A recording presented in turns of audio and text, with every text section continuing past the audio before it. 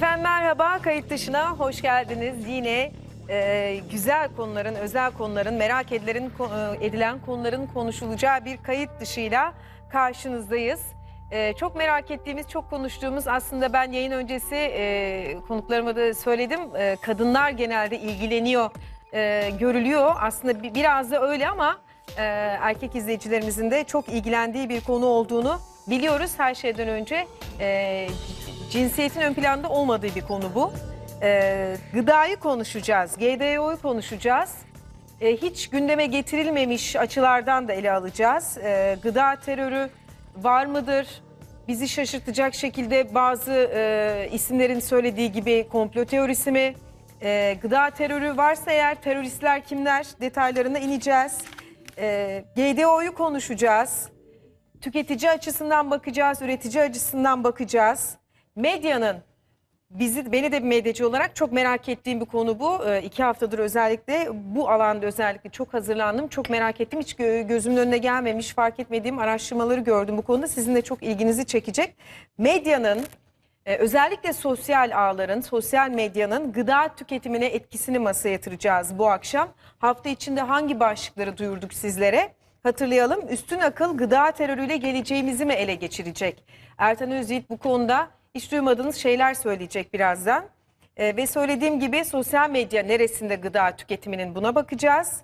E, GDO dedik aslında insanın kurtarıcısı mı yoksa sonu mu? Ana başlıklarımız bunlardı. Ve küresel ısınma tabii ki tarım çok önemli bir konu. Sonunu mu getiriyor e, tarımın? Ertan Özyiğit yorumlarıyla bizimle her hafta olduğu gibi ve gıda mühendisi Hüseyin Altıparmak. Ee, Sayın Altıparmak'la sohbet etmeyi e, biz çok sevdik. Siz de eminim izlemeyi çok seveceksiniz. Çok farklı söylemleri var. Ee, çok da güzel bir enerjisi var. Hoş geldiniz Teşekkür hocam ederim. programımıza. Hoş bulduk. Bundan Hoş sonra da bulduk. sizi ağırlayacağımıza inanıyoruz değil mi Tabii, tabii, Ertan tabii. hocam? Ee, çok keyifli bir program olacağının e, sinyallerini yayın öncesinde biz aldık zaten. Geldiğiniz için sağ olunuz. Peki izleyicilerimize kayıt dışı sorusu soracak izleyicilerimize. Ee, kayıt dışına soruyorum hashtag ile Ee, soru soracak izleyicilerimize hangi kitabı vereceğiz? Halit Kakınç'ın Geri Sayım Küresel Sorunlar kitabını armağan edeceğiz. Bu Tam hafta kayıt dışı programında. kitap oldu, değil mi? Evet. Geri Sayım Küresel Sorunlar Halit Kakınç Hoca'nın kaleminden bu değerli kitabı armağan edeceğiz. Kayıt dışı sorusu bekliyoruz efendim. Bu konuda söyleyeceğiniz, soracağınız çok şey olduğunu da biliyoruz. E siz de bunu yayın öncesinde belli ettiniz zaten. Bekliyoruz. yayın öncesinde tabii ki ben danışıyorum e, hocalarımıza da. E, Ertan Özyiğit dediler ki GDO ile başlamamız Evet. lazım. Öyle yapalım. E, ben dikkatimi çeken bir konu. GDO e, zararlı mı?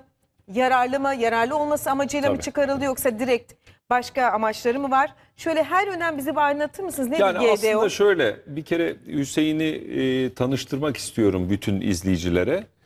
E, bir yani şöyle söyleyeyim 10 yıllık e, işte bir televizyon geçmişim var. Bu geçmiş süresince televizyonlara çok değerli e, kişileri tanıştırdım izleyicilere.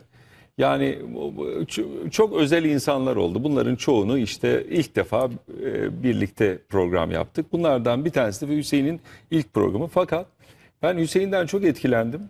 E, çünkü hep GDO programları yaptık ama hani veya tarım politikaları programları yaptık ama Hüseyin başka türlü bakıyor. Çünkü bu işin çok merkezinde birisi.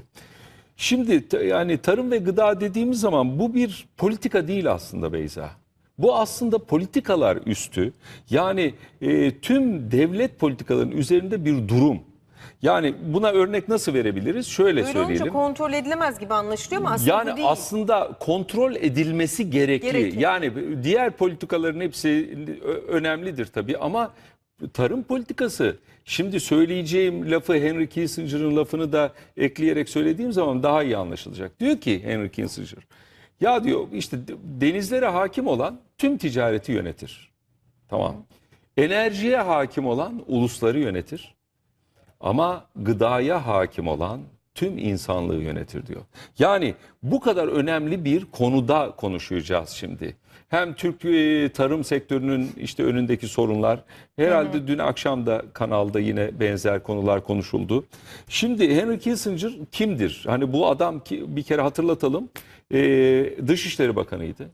Rockefeller'ın danışmanıydı. Bilderberg'in, CRF'in e, hem kurucu başkanlarıydı. Bir Alman Yahudisi kendisi. E, aynı zamanda da e, en önemli işlerinden bir tanesi şu anda ailelerle yani Beşok'la e, derin Amerikan devletinin arasındaki ilişkiyi sağlayan tek kişi oldu. Şimdi burada Bakın şöyle hemen kimin lafınızı kesiyorum. Hemen kimi yollamış? He, hemen İrfan başlamışlar bravo. Hemen bir kitabı alsın Ve artık. ne demiş ki her şey bunun altından çıkıyor demiş İrfan Güven. Ya hani geçen Albert haftadan Park'ı sonra bir göndermiş. sürprizim olacak demiştim ya. Bundan Evet. sonra şöyle göreceksiniz. Albert Park'ı mı konuşalım? Ya şunu Ya işi gerçekten sulandırmak değil bir realite var çünkü Tabii, tabii, kanıtlarla tabii. delillerle Ertan Bey her Bravo. hafta bunu söylüyor. Müthişsin. Ortaya çıkarıyor. Şimdi e, bundan sonra kısmet olursa e, çok sevdiğiniz Payitaht dizisinin danışmanlığını yapacağım. Hayırlı E, olsun. e, gerçekten Osmanlı'nın bilmedikleri yani tarihin çok derinliklerindeki cımbızlarla çıkartıp e, izleyicinin önüne inşallah çok müthiş programlar ve akıcı bir senaryoyla inşallah e, yapımcılar e, kardeşlerimiz çok müthiş bir yapım yaptılar. İnşallah bizim de katkımız olacak. Şimdi İnşallah. Sonuç olarak hani tarım, gıda diyoruz ama bunlar aslında bir zehir. Yani neye benziyor bu iş? Yani işte gıda zehir olur mu ya onunla beslenip insan vücudu büyüyor falan. Yok fazla aldığınız her şey aslında zehir. Yine gıda bir e, ülke için kendi başına bırakılmayacak kadar çok önemli bir e, enstrüman.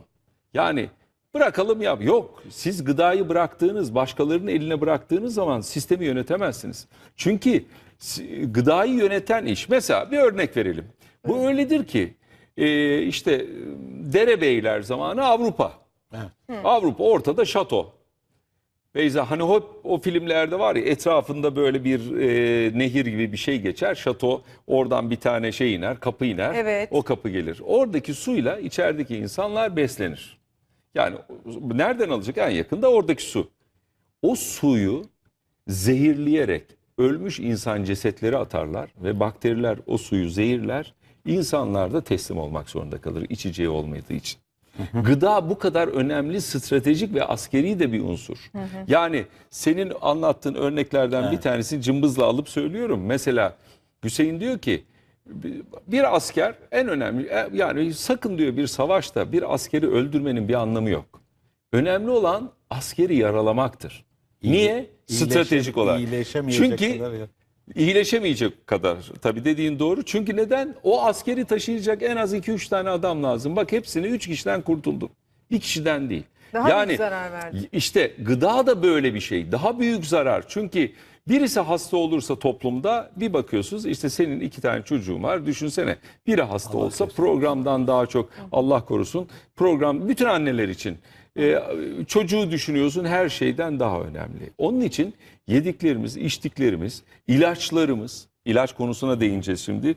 Bu çok çok önemli bir öge. Şimdi şöyle bir şeyle Hüseyin'e verelim e, lafı. Şimdi diyor ki bu işin arkasında kimler var? Genelde tarım e, sektörü ve gıda sektörünü yönetenlere baktığınız zaman nasıl oluyorsa Yahudi kökenliler bunlar. Ne tesadüf. Tabii büyük bir tesadüf. Aynı zamanda Siyonist e, yani bunları biraz incelediğiniz zaman bir bakıyorsunuz ki Siyonistler Daha çıkıyor. da büyük tesadüf. Tabii.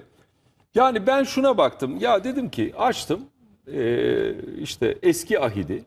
De- Dedim ki ya bu eski ahitte ne yazıyor gıdayla ilgili? Bakın.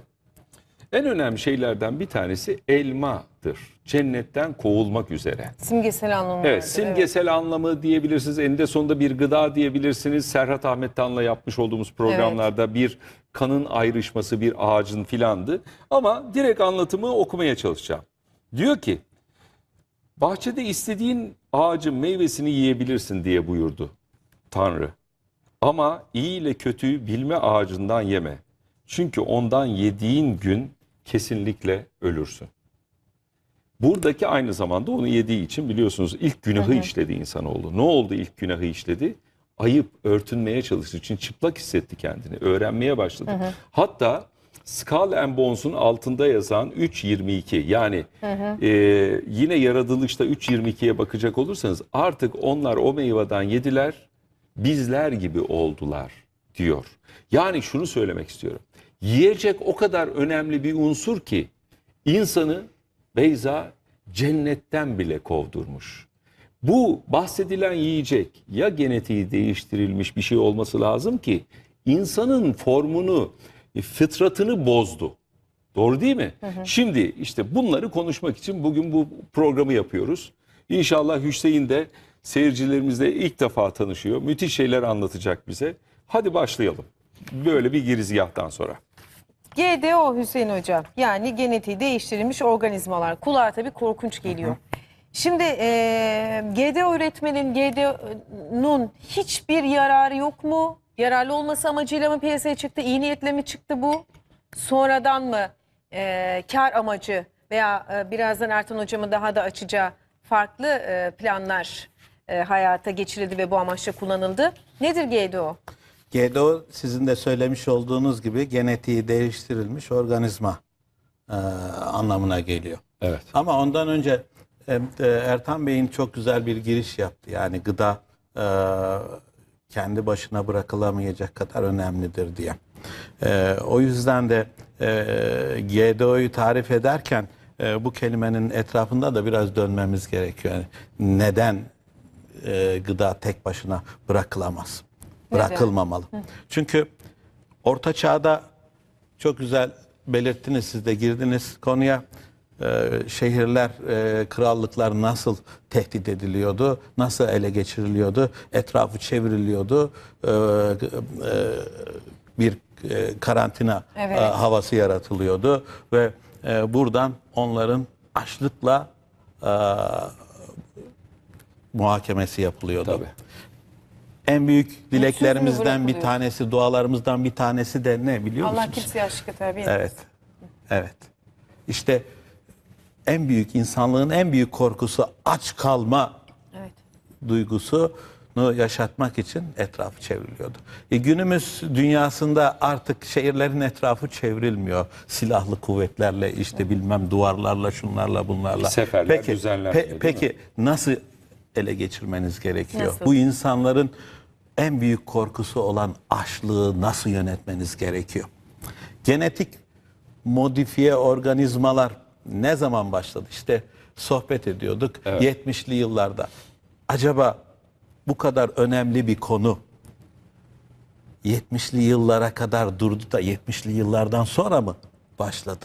Daha öncesi Konu. var. Daha mı? Daha öncesi var. Bence insanlığın tarihi kadar eski genetik modifiye organizmalar üzerinde e, işte e, bitkiler üzerinde, tahıllar üzerinde, meyveler üzerinde e, e, e, canlı her türlü ne, e, nebat ve varlık üzerinde e, gelişti. Bunu elinde tutan bu işte ilerleyenler de ön plana çıktı. Genetik modifiye organizmalarla ilgili işte illaki ilk başlangıçlarda e, konusu geçen e, ne faydalı bir şeyler. Niye genetik e, GDO'lu gıdalar üzerine çalışmalar yapıldı? İki şey içerisinde, iki tane temel e, e, unsur üzerinde duruluyor. Bir, gıda üretilirken tabii e, e, on- ona sadece sizin için besin değil bir takım böcekler, haşeratlar içinde bir besin kaynağı.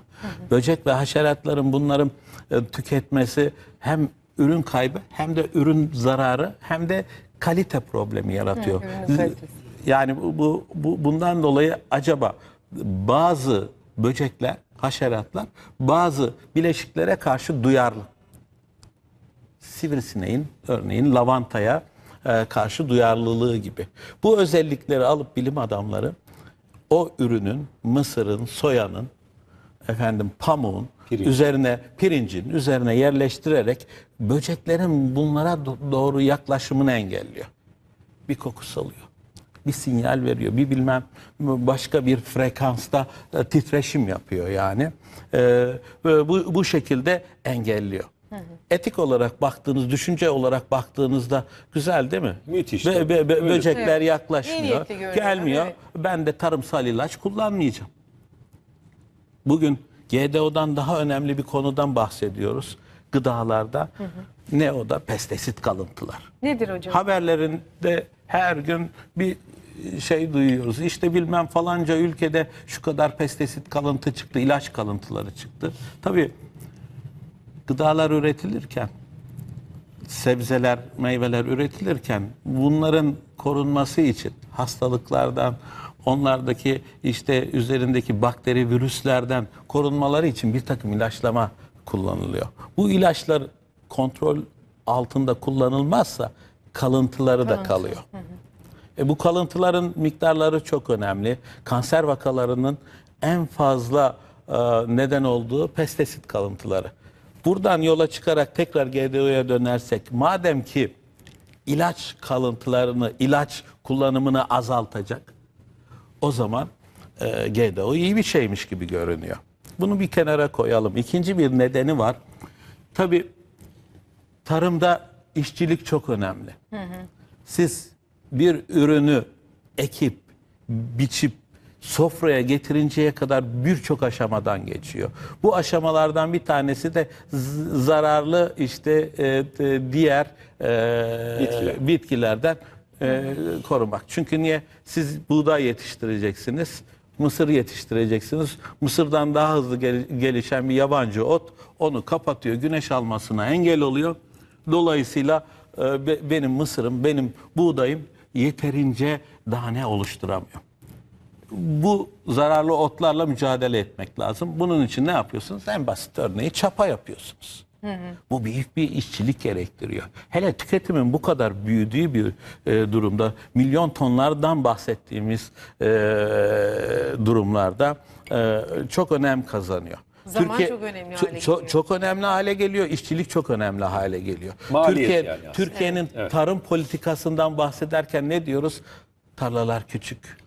İşte daha büyük e, ekim alanları olsa çift- çiftçiler o işle uğraşmak için e, gelir sağlamak için e, zaman ayıracaklar, e, iş gücü ayıracaklar, gidecekler. E peki orayı çapalamak için e, ne, ne kadar insana ihtiyaç var? Çok. Kolay mı? Zor. Güneşin altında hele çalışan bilir. Gerçekten zor. O zaman dönüyorum tekrar. GDO ile uğraşan bilim adamları neyi amaç ediniyor? Bu zararlı otlara etki edecek kullandıkları kimyasallarla ama asıl üretilmek istenen Ürünü tabii. ürünü koruyacak. Ben bir ilaç atacağım oraya. Diğer zararlı otları öldürecek. Bu bunu e, e, etki etmeyecek bir tek o kalacak. Çapanın yerini alacak. Yani halk arasında kullanılan deyimle anlatırsak çapanın yerini alacak. Maliyetler düştü. Maliyetler düştü. E, bu açıdan da bakarsak ne oluyor? Demek ki iyi bir şey bu GDO herhalde değil mi? E, bu- Pestisitleri şey yapıyor ama başka bir olay daha var tabii. Bir de şu açıdan bakmak lazım. Hani doğada bir düzen var. Evet. Her şey bir düzen üstüne kurulmuş. Bu düzeni bozacak herhangi bir de- de- de etki yaptığınız zaman bir süre Sonucu onu şey yapabiliyorsunuz. Örneğin nehirlerin önüne barajlar kuruyorsunuz. Büyük barajlar kuruyorsunuz. Bentler kuruyorsunuz. Bilmem ne kuruyorsunuz. Hayda bir deprem oluyor. Düzlüyor onu ya da büyük bir tufan çıkıyor. Çok fazla yağmur yağıyor. Toprak kaymaları oluyor. Su gene yolunu buluyor. Okyanusa, denizlere ulaşıyor. Yani kendini özüne doğru resetleyebiliyor.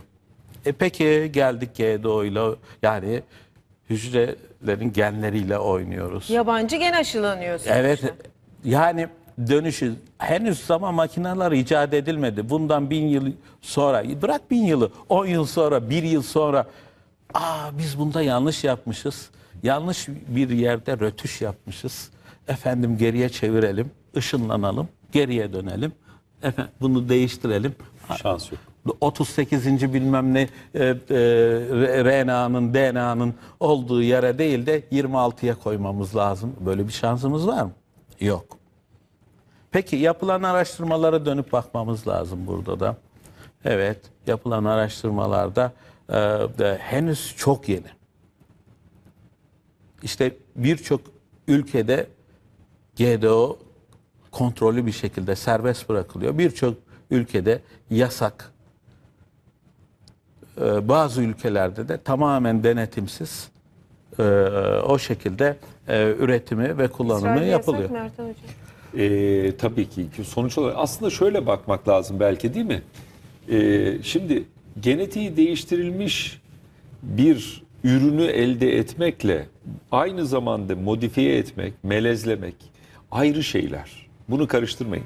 Şimdi aslında e, hani şu çok önemli bir şey. Tarihte en eskiye gitsek, bildiğimiz tarihte ilk genetiği ne zaman değiştirildi bu sistemin?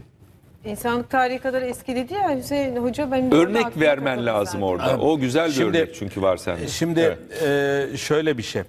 E, evet biz doğal yapısıyla nerede oynuyoruz? Ya en basit şey aşılamayla bile bu, bununla oynuyoruz. Yani genetik modifiye nerede, hangisine diyeceğiz, hangisine de, de- demeyeceğiz.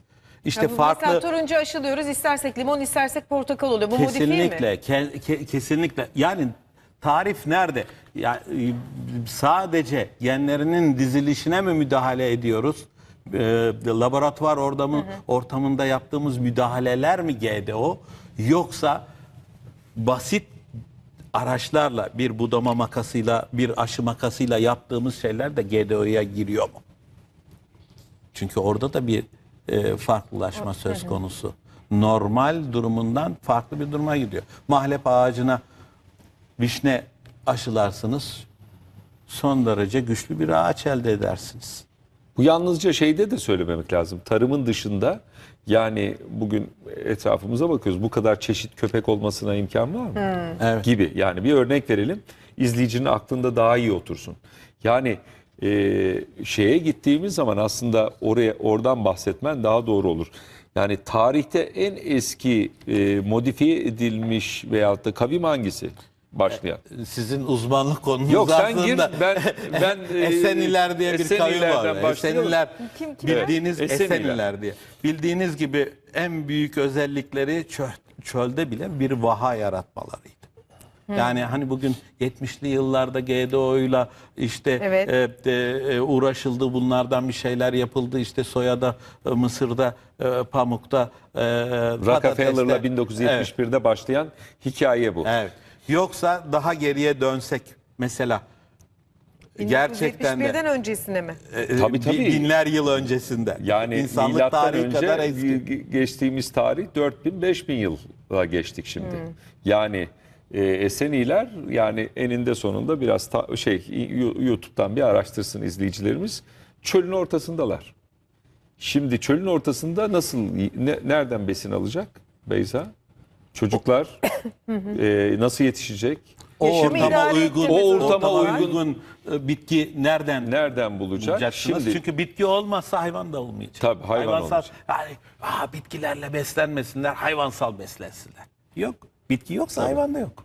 Tabii. Dolayısıyla bir şekilde e, Eseni ta- e, tarihine baktığımız zaman e, o, o şeyde yani o dönemde bir şekilde modifiye ürünler var. Yani çünkü çölde yetişecek ürünlere ihtiyaç var. İzleyicilerden bazıları diyebilirim olur mu öyle şey? Kaktüs Örnek yetişir. veriyoruz. Başka ne yetişir? Kaktüsün dışında melezlemeden bahsediyoruz. Yani örnek verelim. Bugün yani en iyi portakal nerede yetişir mesela? Antalya'da. Ha, Şimdi bak Yafa portakalı diye bir portakal var değil mi? En iyi portakallardan bir tane. Hani Washington portakalı, Evet. Yafa portakal filan. Ya bildiğiniz çölü şu anda adam yani eninde sevelim sevmeyelim. Lafa. Ben onu unutamam. Yafa. Lafa, Lafa portakalı. tamam. Ama şimdi adam şeyde e, çölde e, yetiştiriyor. Şimdi olay şu. Şimdi e, mesela e, alıntılar yaparak gidelim. İki tane toplum düşünelim. Bir Araplar var, yan tarafta da Yahudiler var. Yahudilere bir bakıyorsunuz, çölü şey yapmış adam. Yani yemyeşil yapmış. Hatta öyle bitkiler bit- bitiyor ki alıntı yaparak gidelim. Ee, adam bitkiyi dikiyor işte 50 yıl 60 yıl orada büyüyor bitki. Bu tarafta bakıyorsunuz adam Arabistan'da palmiye dikiyor. Yetiştiremiyor o palmiyeyi söküp bir daha koyuyor. Şimdi anlatabiliyor Kuruyor muyum? yerine Şimdi- yenisini koyuyor. Kuruyor yerine Burada yenisini. ne yaptılar, burada ne yapmadılar? Burada bilimi kullanarak, yani bu isterseniz e, modifiye deyin, isterseniz e, melez deyin, isterseniz GDO'suyla oynadılar. İşte e, bilmem ne böceğinin bilmem neyini alıp koydular ve orada başka bir e, sistem oluşturdular. Şimdi konu konumuz aslında senin söylediğin gibi şey değil. GDO iyi midir, kötü müdür? Tek bir şey var. GDO'da bilinmeyen. İzleyiciler bunu çok kafalarına soksunlar. Şu anda yani işte ışınlanamadığımız için yani bir 50 yıl, 100 yıl sonraya sonuçları bilinmeyen bir oyun içindeyiz. Ama benim e, okumuş olduğum kutsal kitaplar bir tanesini okudum eski ahiti. Tüm kutsal kitaplarda sakın besinle oynamayın. Fıtratı bozmayın diyor. Bir laf vardır ya.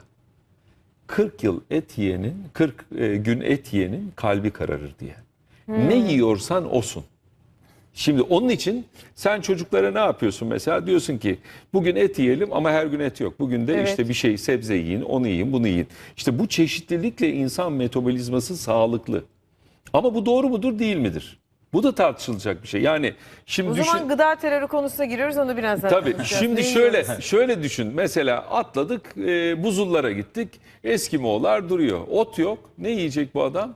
Yalnızca tek besinle besleniyor. Deniz balık. ürünü, balık. Balık. Başka var mı? Gayet de sağlıklılar. Ha, Buyurun. gayet de sağlıklılar ve de hatta daha da ileri gidelim. Japonlar için söyleniyor ya niye uzun yaşıyorlar Niye uzun diye. yaşıyorlar? İşte yani deniz ürünleri vesaire vesaire işte yaşam ortamları Çok bir şey bir çeşitli şey. beslenme. Çok çeşitli beslenme. Çok çeşitli yani et, e, şey- Yani sadece sadece bitki nebatla beslenenler e, e, çok sağlıklı olsaydı dünyanın en sağlıklı insanı Hindistanlılar olmalıydı. Doğru mu?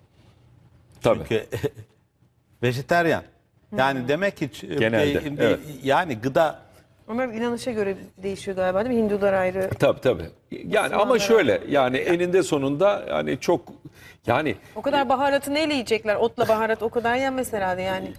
yani işte hani hayatımıza köri diye bir şey Evet, soktular evet. filan. İyi Ama şu- yaptılar. şöyle bakmak lazım. Hayatta çeşitlilik asıldır diye bir davranışımız var. Şimdi bazı şeyleri yıkalım dedim ya Eskimoğullar da böyle. Ya ne yapacak adam? Veyahut da hiç hayvansal bir şey almayıp yalnızca ha bunlar eksikleri vardır, fazlaları vardır bunları konuşmuyoruz. Yani şu konuştuğumuz nokta şunun üzerine kurulu. Yani saplantılar gıda ile birlikte insanı yönetir. Yani ben size desem ki bugün X yiyecek çok kötüdür. Şimdi bir liste de yayınlıyoruz. Bakın araştırmalardan bahsedebiliriz değil mi Hüseyin?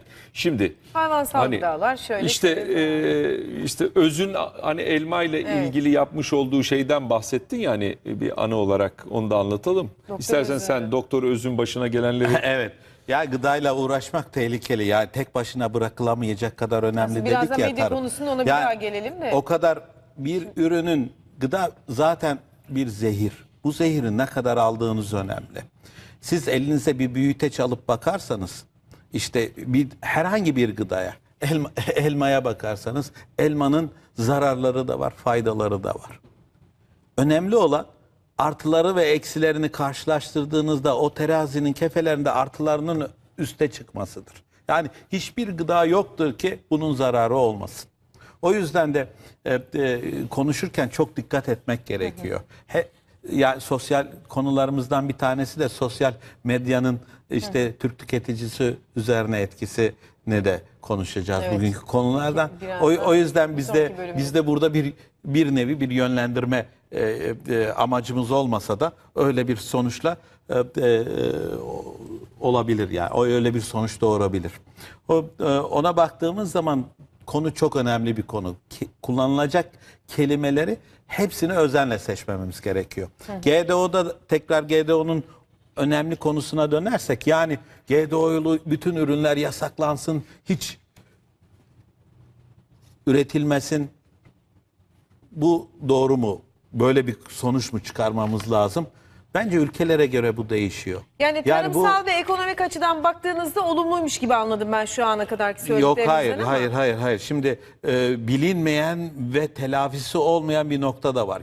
GDO'ya tam anlamıyla diyemeyiz. Tamamen zararlı yok edilsin, sonlandırılsın. Bu konuyla ilgili hiçbir çalışma yapılmasın değil.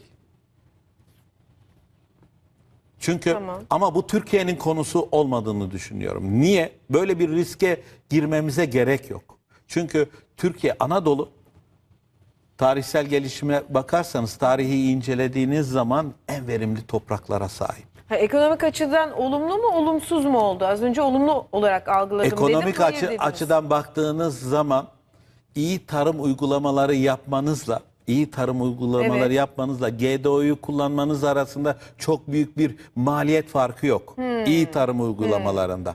Ama bunu yapabilecek altyapı her yerde yok. Kolay da oluşturulmuyor. Peki bu iyi altyapıyı oluşturuncaya kadar geçen sürede ne yapmak lazım?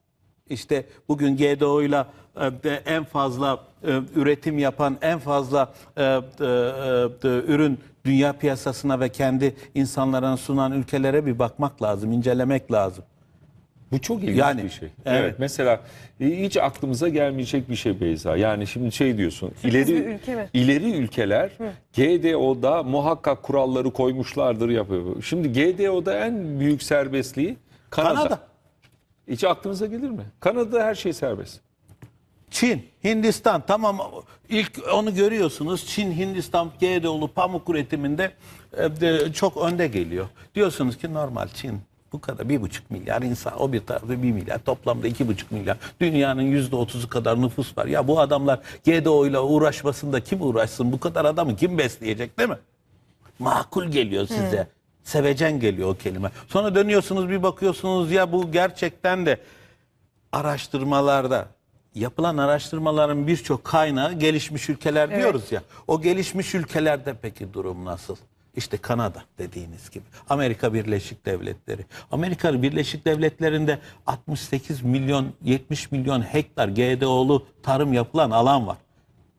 Türkiye'deki bütün tarımın iki katı kadar bir alandan bahsediyoruz. Tarımsal alandan. Türkiye'nin GDO'lu 38 ürünleri milyon hektarlık bir Ama alanı sağlık var. sorunlarına da baktığınız zaman neredeyse aynı oranda. İ- il- ilişkisi var mı yok Ee, mu şimdi? hayır şöyle de bakmak lazım. Amerika ürettiği ürünü nereye satıyor?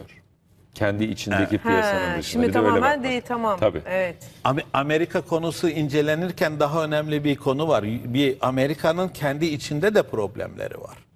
Tabii. Han- hangi kesime satıyor? Hangi Bravo. ülkelere satıyor? Yani bu- konu konuşulurken işte birçok toplantıda karşılaştığımız şey iyi Amerika'da efendim e, kendi e, de FDA'nin verdiği izinler var. Kendi ülkesinde de bu ürünler tüketiliyor. Burada ne, ne giriyor devreye? Sosyal medya giriyor. Sizin okuduğunuz sosyal medya ile o birinin okuduğu sosyal medya aynı değil. O yüzden en güçlü silah zaten Evet. benim profilimi biliyor, tercihlerimi biliyor. Sizin Bakın biraz daha yönlendiren detaylı yönlendiren konuşacağız e, de- de- e, konular farklı oluyor. Diğerlerin izlediği, etkilendiği e, kanallardaki uygulamalar farklı oluyor. Avrupa ülkelerine baktığınız zaman Almanya'da Almanya'nın en önemli gıdası, tarım gıdası ne? Patates. Patates. Ekmek yerine patates. Almanya'da GDO'lu patates serbest bir tane. Hangi suçunu kullandığınız önemli. Yani şunu mu söylemek istiyorsun? Ben e, araştırmalarda da böyle baktım. Yani bir ülkenin ek, yemek yanında tüketmiş olduğu bir ürün var. Mesela biz Ana- ekmek ana. ana- ürün. Ekmek tüketiyoruz. E, Almanya'ya gittiğiniz zaman veyahut da İngiltere'ye gittiğiniz zaman bu iş daha çok patates. Her yemeğin yanında Çin'e gittiğiniz patates. zaman bu iş Pirinç. e, pirinç. Yani işte Amerika'ya gittiğiniz zaman bu işte daha çok hani mısır ekmeği filan meselesi Meksika vardır. fasulye. Meksika fasulye. GDO'lu En fasulye çok- var Daha Meksika'da. çok tüketilen ürüne yönelik bir çalışma var. Şimdi o zaman bir Hani eski dille katık yapılan üründe dediklerimiz ürün. Yani bu aslında yemeğin yanında a- yani kullanılan ana yiyecek. Neyse onunla ilgili dünyada e, en çok teşviği GDO'da onlar alıyor. Hangi ülke olursa olsun Türkiye hariç. evet. Şimdi e, e, aslında Ertan Bey bir başka daha önemli konu var. GDO'lu ürün mü? Hangi GDO'lu ürünü mü sen tüketiyorsun? Acaba Almanya'daki GDO'lu ürünle benim GDO'lu ürünüm aynı mı? Bir, bir de izleyicilerimize şunu söylemekte fayda var. Türkiye'de GDO'lu ürünlerin e, ithalatı veya üretimi yasak. Diğer bir ülke var. Yasak olan ülkelerden bir tanesi Rusya. Bakın Şimdi Niçin? dö- dönüyorum. Şimdi şöyle bir bakarsanız GDO nerede tamamıyla tukaka yani kesinlikle üretilmiyor. Nerelerde üretimi serbest. Tarımsal alanı verimli olan yerlerde GDO'lu ürüne bakmıyor. Bakmaması da gerekiyor. Niye böyle bir riske gireyim ki ben? Zorunluluk vardır. Böcek de yersin ya. Hani derler ya. Aç kaldın e, ormanda, şurada burada. Böcek de yer. Yani yani ölmeyecek kadar domuz bile yiyebilirsin diye emir var. Yani dönüp tekrar buradan bakarsan evet bir takım zorunluluklar varsa onun getirdiği noktalar farklı ama benim öyle bir zorunluluğum yok. Rusya'nın da yok. Bir sürü tarım alanları var. Kazakistan'da tarım alanları fazla. Kazakistan'da tarım alanları ekebilmek için Çin'den adam getiriyorlar. Niye Tarım- peki şey olmuyor? Tarım. Şimdi o ülkelerin ve bizim gibi ülkelerin bu konuya netleşinceye kadar seyirci çalışmalar, bilimsel çalışmalar devam etmeli. Tüketimi noktasında Biz söylüyorum. GDO'lu hiçbir Seyircilik. şey yemiyor muyuz şimdi? Yasa onu söylüyor. Kaçak olarak geliyorsa ayrı bir konu. Yani GDO'yu e, diğer bir konuya hemen atlayalım orada. Sadece GDO'lu mu yoksa yediğimiz e, bir takım e, hayvanlar da e, işte e, yoksa gübrelerde de bitkinin kullandığı gübrelerde de hani bu zincirleme gidiyor ya Evet. o bitkide kullanılan gübrede de mi? Evet gerçekten de yasaya baktığınız zaman GDO'lu hiçbir ürünün Türkiye'ye girmemesi lazım. Girse de üzerinde yazması lazım. Yani bu GDO'ludur.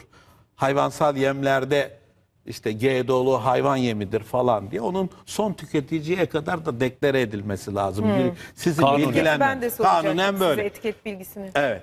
Kanunen Aa, böyle. Araya iki dakikamız varmış. Yeni başlık açmayalım. Yok açmayalım. Devam mi? et. No, on- o- e, yani olaya böyle baktığımız zaman evet biz e, bilimsel çalışmaları sonuna kadar devam etmemiz lazım. Nasıl Essenilerden beri gelen bir çalışma var. Onun devamı var. Onun devamını bugün milyonlarca ton tohum piyasaya sürüp 160 milyar dolarlık bir gelir elde eden bir sanayi var. Bu sanayiye seyirci kalmamamız lazım. Olumlu senaryoyu da düşünmemiz lazım. GDO'lu ürünler masum çıktı. Ya İrfan Güven Almanya'dan bir şey yollamış. Bir tweet Evet. atmış. Az önce şey evet Evet. yine. Hocam ben Almanya'dan izleyicinizim. Ona kitap Bu- verdik zaten. bilgi. Ee, buradaki tarlada dört işte mevsim ürün almaya çalışıyorlar diyor. Evet. Hele ki gübreleme zamanı diyor evlerin içinde tezek kokusu siniyor diyor. Evet. Diyor ki ben burada suni gübreye daha denk gelmedim. Şimdi ne demek istedin? şi- Şimdi suni suni gübre konusu apayrı bir ko- konu. Ben gıda mühendisiyim.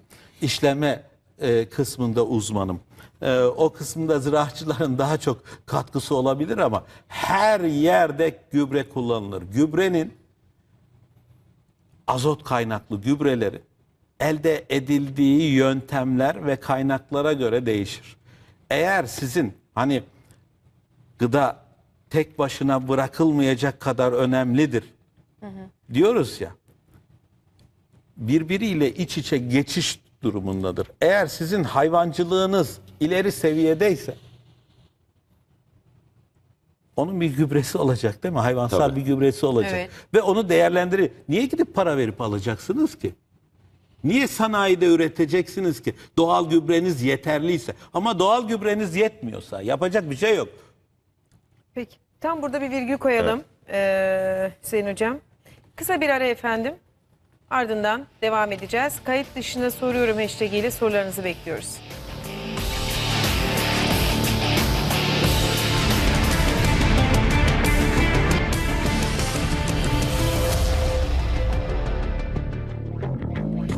Efendim kayıt dışına kaldığımız yerden devam ediyoruz ve siz değerli izleyicilerimizin kayıt dışında soruyorum etiketiyle yorumlarınızı, sorularınızı e, almaya, okumaya devam edeceğiz bu bölümde de.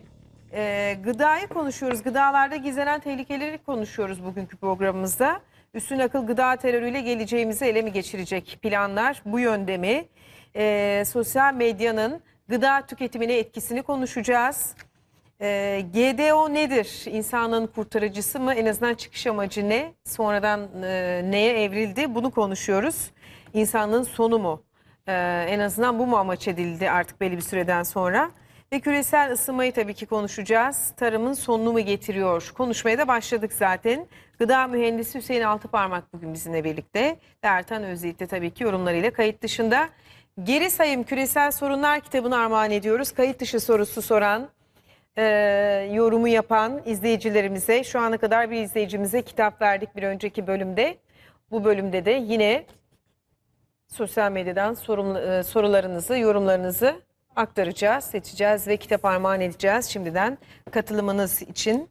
E, teşekkürler. Şimdi e, GDO yemlere kadar varken insanlar ne yapabilir diyor Sezer Ok bizim e, sürekli e, katılan bir izleyicimiz sağ olsunlar. E, Fatma D diyor ki GDO'lu gıdalar insan DNA'sında ne tür değişiklikler yapabilir? Ruhsal ve fiziksel değişimleri toplumda görmeye başladık mı? Aslında az önce daha sonuçlarını görmedik dediniz ama işi bu sonucu Tabii, merak tabii, ediyor izleyicilerimiz. Hiperaktivite, astım, benzeri hastalıkların yaygınlaşması, GDO ve katkı maddeli gıdaların tüketilmesi sonucu değil mi? Çok da güzel sormuş Evet. izleyicimiz. Evet. Yazım dili de çok güzel. Fatma D'nin bu sorusunu tutalım bir kenarda. Ee, Hikmet Yılmaz diyor ki kayıt dışına soruyorum. GDO'lu ürün üreten akıl acaba dünyanın nüfus planlamasını mı dizayn etmeye çalışıyorlar? Bravo doğru bir Çok soru. güzel bir tane soru, değil mi? Verelim. Evet. Birden e, yalnız kaybettim. Hemen bulacağım şimdi o izleyicimizi. Çünkü Ve- hep anlattığımız konu vardı. 1870 şimdi Albert Pike geldi değil mi Evet. şimdi? Onsuz olmaz. Olmuyor. Evet Albert Taşın Pike'ın altında. 1871'de söylemiş olduğu dünya nüfusunu 500 milyonun altına daha sonra çeşitli e, gizli örgütler de bu konuda e, aynen 500 milyonun altına indirin diye e, hep bi- bi- bize bir şekilde yazdılar, çizdiler, ulaştırdılar bu fikirlerini. Şimdi e, bu işte nasıl savaş olarak olabilir mi? Savaş çok zor bir şey. Savaş olduğu zaman dünyanın her yeri yani onlara da sıçrayacak bir e, yok edilişten bahsediyor insan eliyle yapılan. Ama e, hastalıklarla ve e, yiyeceklerle bu işi yapabilirseniz yani mesela e, öyle bir şey yapalım ki insanın üreme sistemini bozalım. Böyle bir şey olabilir mi? Az sonra diyeceğim. Anlatacağız Demek ki bunları. olabiliyor Ha, zaten. tabii, o anlatacağız şimdi Bir onları. arılar bombası atmıştınız kaç program önce bu konuda Evet. konuşurken. Ee, yine bir şey attınız bakalım merak ediyoruz. Şimdi e, GDO'lu gübreyi ben sayfayı yenileyince bazen kaybediyorum. Geri dönerken de e, vakit kaybediyorum. GDO'lu gübre konusu çok dikkat çekti. Ona birkaç izleyicimiz bir şey sordu. Evet. Böyle bir gübre mi var diye. Hatta bir gıda ziraat mühendisi sormuştu ama yeniliyorum bulamıyorum e, bir türlü. Ben Hüseyin Onu örnek Bayraktar'ın benzer bir şeyini okuyayım mı? Ee, demiş ki kayıt dışına soruyorum GDO hayvan yemleriyle oluşan gübreleriyle yetişen gıdalar GDO'lu oluyor mu? Ve bunların demek istemiş. Bunların toprağın kimyasını Transfer var değiştirip değiştirmediğini bize açıklar mısınız? Bun- bunlar bu tür bilgilerle ilgili bir kere e, e, İtalya'da İtalyan hükümetinin de öncülüğünde Avrupa'da GDO'lu ürünlerin yasaklanmasıyla ilgili e, mahkemeye başvuruluyor. Avrupa Mahkemesi'ne başvuruluyor. Geçenlerde bu Avrupa Mahkemesi'nin e, sonucu açıklandı. Yeterlince veri bulunamadığı için böyle bir yasaklamaya gerek duyulmadığı söyleniyor. Önce o e, bir tane hanımefendinin tweetine yönelik e, e, Evet, Fatma D'nin tweeti. Evet. E, Hocam bir cevap vereyim. Çok güzel detaylı. Ee, ne dersiniz? Ondan sonra evet bu bir zincirleme nerede nasıl etki ettiği kesin olarak bilinmiyor.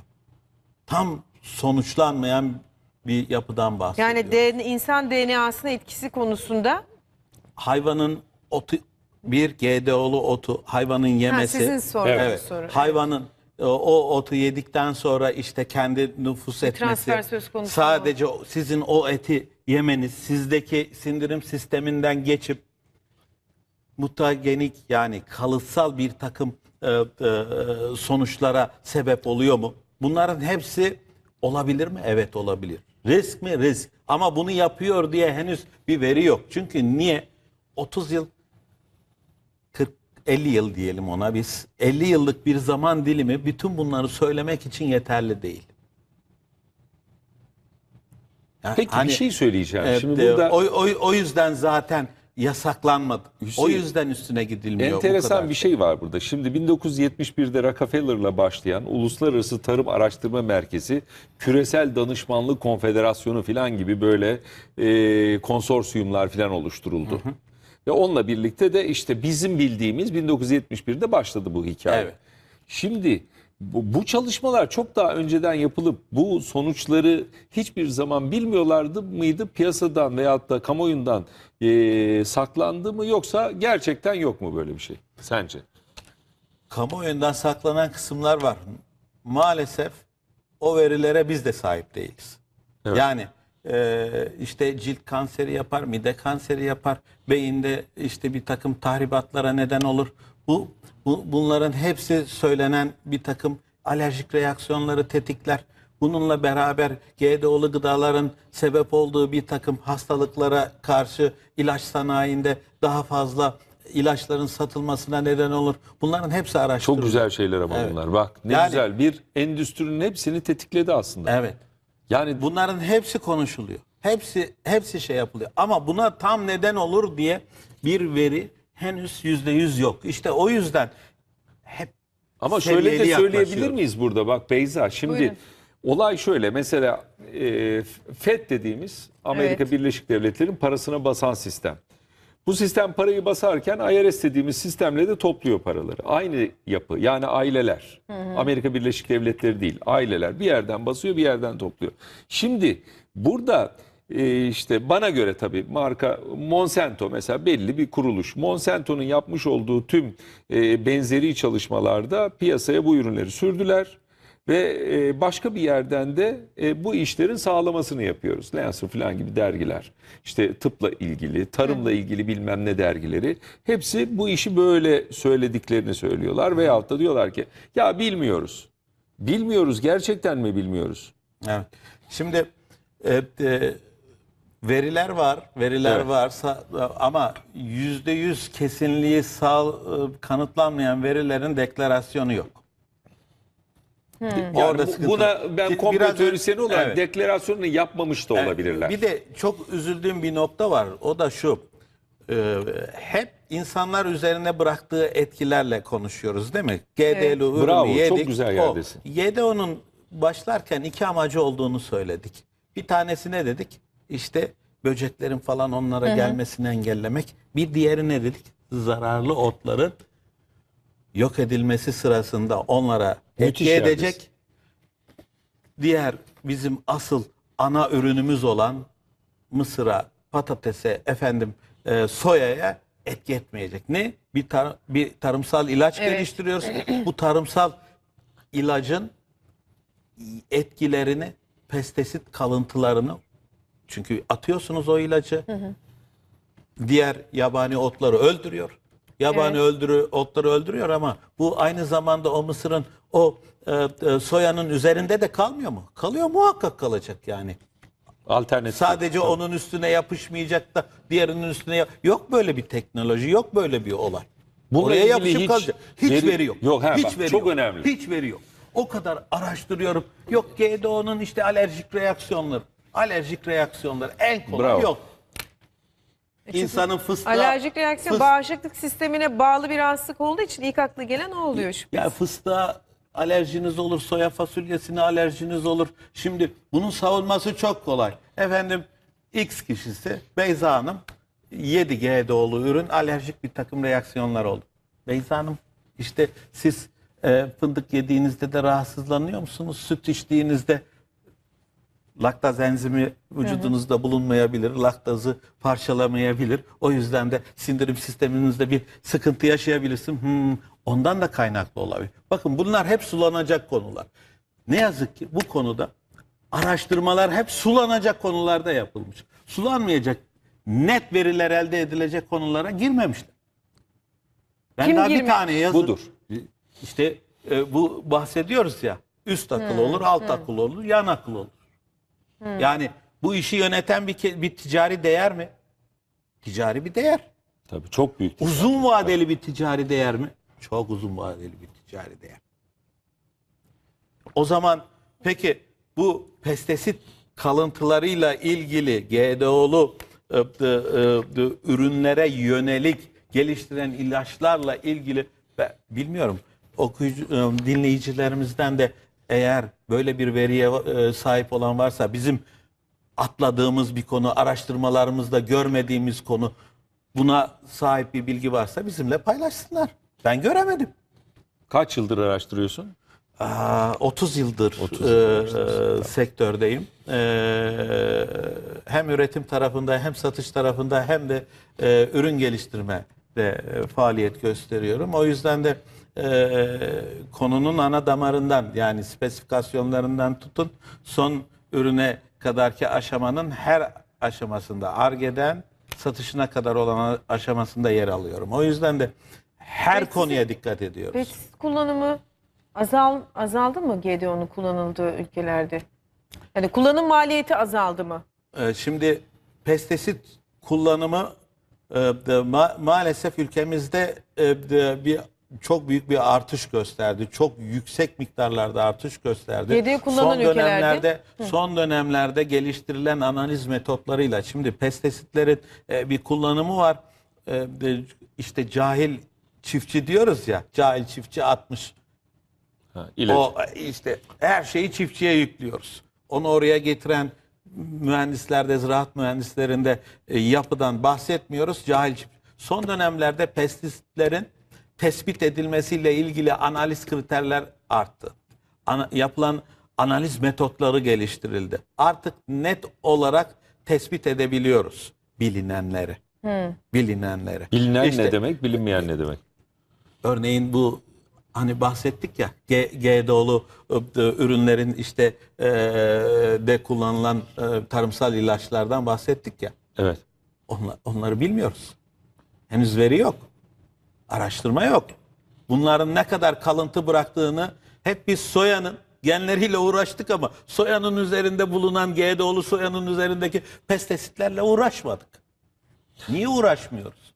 Ya bu devletler gerçekten de önemli bir rol üstleniyor. Son yıllara baktığımız zaman araştırma enstitüleri genelde ticari kaynaklarla besleniyordu. Fakat bu yapı birazcık değişiyor. Ülkemizde de değişiyor. Yani ülkemizde de artık Ticari tarımil- kaynak deyince ben şimdi e, aylardır Ertan Bey'le e, yayın yapan, e, yayın ortaklığı yapan biri olarak o ticari kaynakların e, sahipleri kimler Tabii. hemen o, o dikkatimi çeker tabii. Onu sorgularım o zaman biraz daha Evet. ışık Ya- tutmuş yani olur. o, o yüzden Şimdi izleyicilerimiz şu e, resimler atıyorlar. Araya giriyorum. E, çekirdeksiz domatesler. Yani bu- bunu yıllardır konuşuyoruz ama demek Çok ki güzel hala bir şey merak söyledin ya. ediliyor. Ya. bak ben karpuz çok severim. Şimdi izleyicilerin çoğu da Evet. sever. Tam da Hani mevsimi. Bizim için Oh. mü- müthiştir. Ya bir türlü yani eski çocukluğumdaki Mis gibi kokan. mis gibi kokan. Yani bir- iki gün önce bir karpuz aldım kıpkırmızıydı. Gerçek anlamda yani. Kan Evet. kırmızı. Çekirdek işte fa- işte yani bakıyoruz ya çekirdeği de olsun içinde filan her şey çok iyi ama tat yok. Evet. Benim yani çocuklar karpuz yine- dediğinizde bir dönem biliyorsunuz kabak aşısı diye Evet, bir evet. hikaye Evet, çıktı. evet. Tatsız tuzsuz kıpkırmızı bir karpuzlar. Çünkü kabak tadı ama vermişti artık kabak yani tadı vermişti. karpuzda. Yani bir şey söyleyeceğim hocam şimdi benim çocuklarım bahçeye o karpuz çekirdek, çekirdeklerini e, kendilerince böyle hani çekirdek doğaya Üretiyorlar. geri dö- döner diye hep e, empoze ettiğimiz için minicik minicik karpuzlar çıkar ya mis gibi kokuyor o karpuzlar. Yani nasıl bir tatsız tuzsuz bir karpuzdan da olsa geri dönüşü çok daha yani bir şey yapılıyor ki biz aynı tadı alamıyoruz Şimdi, yani. e, bu gıdaların uzun süre dayandırılmasıyla ilgili e, bir konu var. Yani Resimleri Şimdi- görüyorsunuz değil mi? Çekirdekler, tabii, görüyorum, domatesler, görüyorum. salatalıklar, Ür- ür- biberler paylaşılıyor şu anda. Bir- İzleyicilerimiz atmaya devam ediyor. verimi arttırmak için yani GDO'yu bir kenara bırakırsak bir takım melezleme e, ve hibrit çalışmaları da var. Tabii bu çalışmalarda işte daha fazla birim alandan daha fazla e, ürün elde edelim e, amacı güdülüyor. E, e, bunların bir takımları faydalı sonuçlar veriyor. Kalitesini de düşürüyor mu bir yandan? Ne e, bir, bir, bir yandan kalitesi düşen ürünler Besin var. değeri de bir yandan da bir yandan da da e, besleyici özelliği artan ürünler var. Örneğin salçada yapılan e, çalışmalar sonucunda Bununla ilgili bir soru vardı. Buyurun devam çal- edin. çalışmalar sonucunda kuru maddesi daha yüksek domatesler geliştiriliyor. Ne oluyor? Daha fazla salça, salçalık domatesler var ya böyle e, e, e, daha e, sulu değil onlar. Evet. Daha kuru domatesler. Yani bu tür iyi çalışmalar da var. Her şey kötüye doğru gitmiyor. Doğada bulduğunuz her şey iyi bir şey değil yani. Git kendi başına bulunan bir şey her zaman organik organik organik diyoruz ya örneğin. İşte niye daha aa, gittim Kaz Dağları'nın tepesinden kekik topladım getirdim evde kullanıyorum mis gibi kokuyor. Öyle oluyor Bu mu? çok te- ama mis gibi kokabilir de çok tehlikeli bir şeyden bahsediyorsunuz. İyi güzel doğa size onu veriyor ama doğa sadece insanlar beslensin diye sana sunmuyor.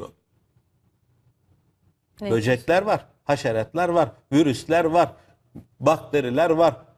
Bu bakteriler, bu böcekler gelip o işte kekiğin üstüne konduğu zaman kusura bakmayın sadece özünü alıp arının işte e, çi- çiçekten bal çeker gibi gitmiyorlar. Üzerine daha kibarcası neydi? İfrazat mı? İfrazat evet. diyorduk? İfrazatını da bırakıyor. E, kusura bakma bu ifrazat oluyoruz. işte sadece gübre değil. Yani gübre deyince masum oluyor ya. İnek dışkılayınca Evet. o kötü. Aman elini sürme mikrop kaparsın. Doğru mu? Öyle. Ama ineğin gübresi dediğin zaman aynı şeyden bahsediyoruz ya. Üç harfli bir şeyden bahsediyoruz. Evet. Orada tukaka, burada gübre. Bakın. O yüzden de gıda, tarım kendi haline bırakam, bırakılamayacak kadar önemli diyoruz. Bak sürekli altını çizeceğiz bunun. Niye? Çünkü onun emin olmamız lazım. O dışkısının içerisinde ne var? Virüs mü taşıdı? Orada bir veba mikrob, mikrobunu getirdi üstüne mi bıraktı? Çünkü gitti. Bu sinek ya. Ölmüş bir hayvanın üstüne de konabilir. O hayvanın üstünde kalktı geldi kekiğin üstüne de konabilir. Sen onu alıp kontrolsüz bir şekilde getirdin evinde kullan. Mis gibi kokuyor. Hadi bakalım buyurun davet. Bence yani Ne demek istiyorsun? işte şunu demek istiyorum. Hani sosyal medya birazdan geçeceğiz de o, e, o zaman konuşmayı planlıyordum ama öyle bir şekilde yönlendiriyor ki kendi haline her yetişen her şey iyi, ambalajlı olan bütün gıdalar kötü. Ya bir kere bir kontrolden geçsin. Aldığın ürünü, manavdan aldığın ürünü, bakkaldan, marketten aldığın ürünü yıkıyorsun. Hatta sirkeli suyla yıkıyorsun, öyle yiyorsun. Bu doğada dalından kopardım diyorsun. Ya ilaç atılmış mı? Atılmamış mı? Belli değil. Üzerine vebanın bir sığırın üzerinden konan sinek gelip bunun üstüne konmuş mu? Belli değil. Veba. Direkt alıyorsun. Onun üstünde besin olduğu için bakteri orada yaşamaya devam ediyor. Elma alıyorsunuz. İşte içinde kurt varsa bilmem ne varsa hani bahsediliyor. Organiktir diyor. Organiktir, güzeldir falan. Çünkü niye ilaç atılmadı? Bak bu önemli. Buraya bir tane nokta koyalım. İlaç. Niye? Niye ilaç? Elimizde çok sağlam veriler var. Ne diyor o? Pestisit kalıntılar çeşitli hastalıklara neden olur. Doğru mu? Doğru. O zaman ilaç ne kadar az kullanılırsa o kadar iyi. Diyoruz ya bunu koyduk Evet. oraya. Dönüyoruz bu tarafa. Dağdaki ya kardeşim üzerinde virüs var, bakteri var. Hastalık yapanlar var, yapmayanlar var. Faydalı olanlar, prebiyotiği var, probiyotiği var.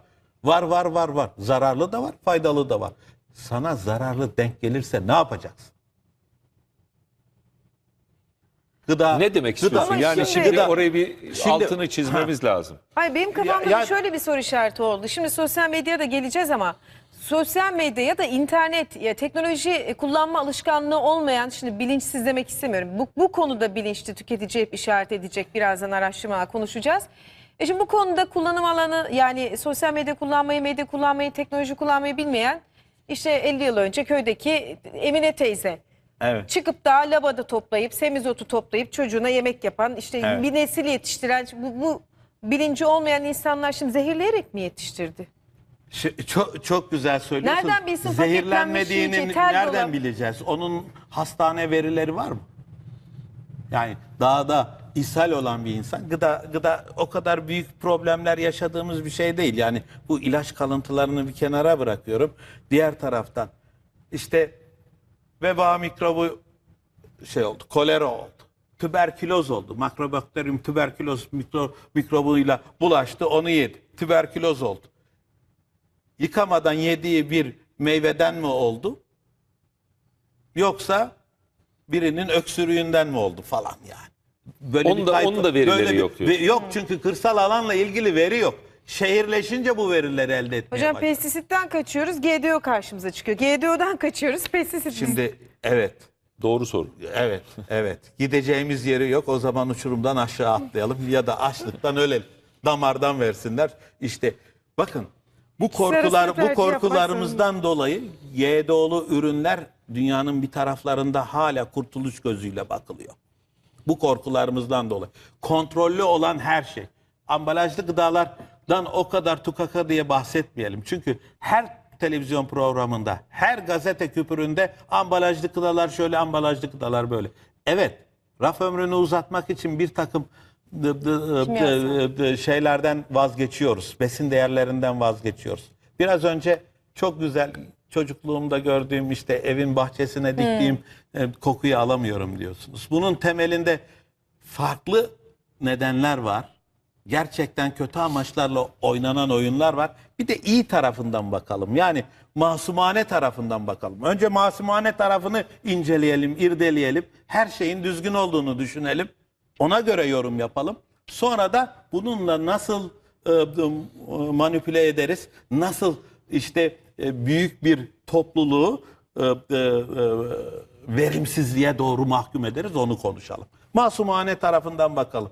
Ben bu ürünü tarladan toplayıp sizin evinizdeki Sofranıza. mutfağınıza kadar, sofranıza kadar getirinceye kadar olan aşamayı çok iyi e, de hesaplamam, çok iyi planlamam gerekiyor. Doğru mu? İşte bunlardan bir- kontrol etmem Kontrol gerekiyor. etmem. Tamam. Bunlardan bir tanesi de ürünü tam olgunlaşmadan hasat edeyim, keseyim. Ondan sonra ürün çünkü yaşam şöyle bir şey.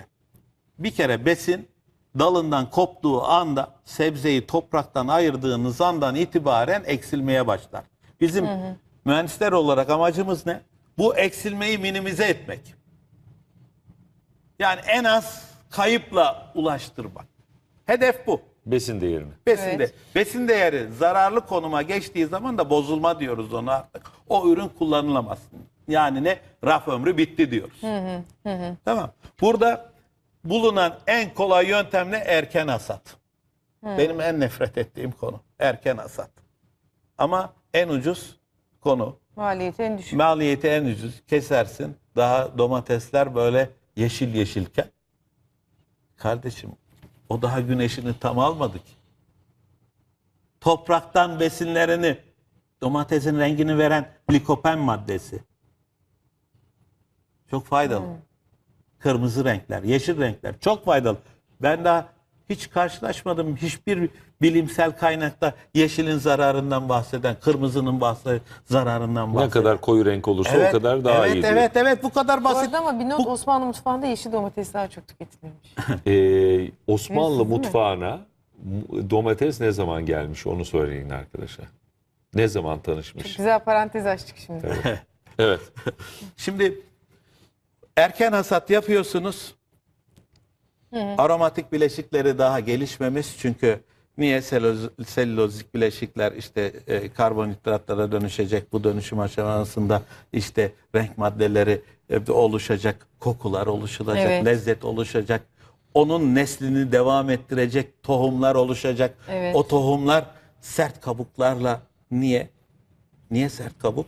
Niye? Çünkü midenizdeki o sindirim sisteminden kurtulması lazım. Hayvanlar yiyecek, insanlar yiyecek. Ya düzen öyle bir kurulmuş ki o sert kabuğu oluşturmadan senin vücuduna girerse kusura bakmayın.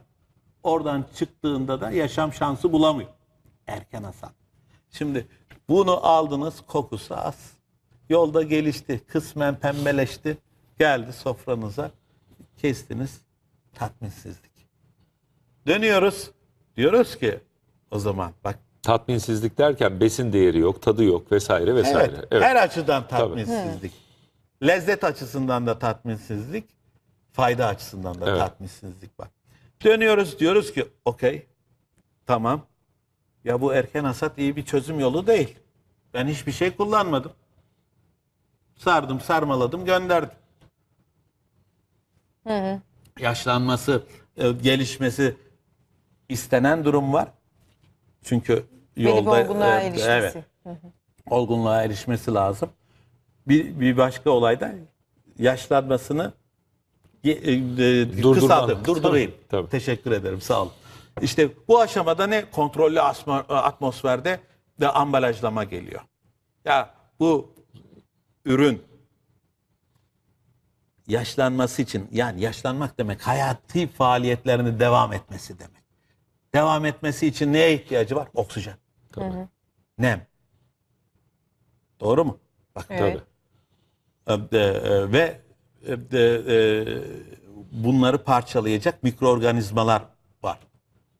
Benefit de yani bunlardan faydalanan sistem var. Üzerinde e, işte likenlerde olduğu gibi e, gelişimine takviye edici durumlar söz konusu. E, ben o zaman azot gazı altında bunu paketlerim. Sıcaklığını indiririm 5 dereceye kadar bunun yaşlanmasını, hayatı faaliyetini de komaya sokarım. Diğer bir deyişle. Suni hayata sokarım. Evet. O şekilde yaşamını devam ettiririm. Sofraya kadar getiririm. Bu bir çalışma, yöntem. Diğer bir yöntem kontrollü atmosferde yani azot gazı altında e, transferde diğer bir yöntem mumyalarım üzerine havasız bırakırım. Nasıl ce- Mısırlılar cesetleri Evet. binlerce yıl Evet. saklamışlar. Nasıl oluyor da saklanıyor? Ki bu ara mı çok çok çok denk geliyoruz değil mi? Evet. Gıdayı mı saklayamayız? Gıdayı da saklayabiliriz pekala. Yapıyoruz zaten diyeceksiniz yani. E, Saklarız demeyin. Evet. Yapılıyor deyin. Yapılıyor, Ha. yapılıyor yani. Ne, E, e, mı? soru soruyorum yani. Yediğiniz e, bakın şöyle bir örnek vereyim izleyiciler dikkat etsin. Yedikleri genelde elmaların filan üz- Ha, alsınlar. video izlemiştim, Üzerine evet. bir şöyle bıçakla hafifçe tıraş eder Doğru. gibi çeksinler. Mum çıkar. İzlemiştim. Çünkü o yaşlanmayı engelliyor. Evet. Evet. Mum zararlı mı? Zararlı mı? Ya, yani Zararsız bir de- şey var mum, mı? Mum, mum demek ya. Zararsız Tabii, bir şey var mı? tabii. Çok güzel. Gıda bir zehir. Onu ne kadar al- aldığınız önemli. Evet. Üzerindeki mum, mum nedir? Mum bir yağ. Bildiğimiz Doymuş bu. yağ.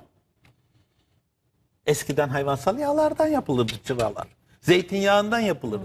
Yani bunlar da öyle bir şey. Bunun içerisine bazen bakterisit etki yapan ilaçlar da konur. Ama o yüzden onu aldığınızda yıkayın deriz. Yani hepsi bak uygulanan yöntemler. Bun, bunların hepsi maliyet demek. Yani gıda terörü diyoruz ya. Evet. Hani çiftçiden bu fiyata çıktı. Geldi sofranıza bu fiyata olur mu kardeşim? Sorusu var ya. Olmaz. Olmamalı. Ne kadar arada kötü niyetli kullanılan bu zinciri kötü niyetli kullananlar var mı? Var. Çok mu? Çok. Ama bir de olması gereken var.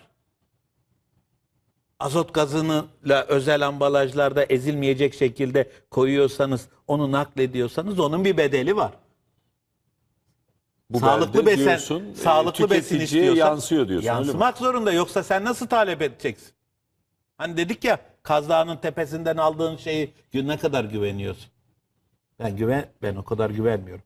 Yani Alıyorum, aslında şöyle söyleyebilir yapıyorum. miyiz Hüseyin? Yani Ha, işlemden gıdada en önemli şey yani burada hani işte üretici üretti arada zincirler var sonra sofraya geldi.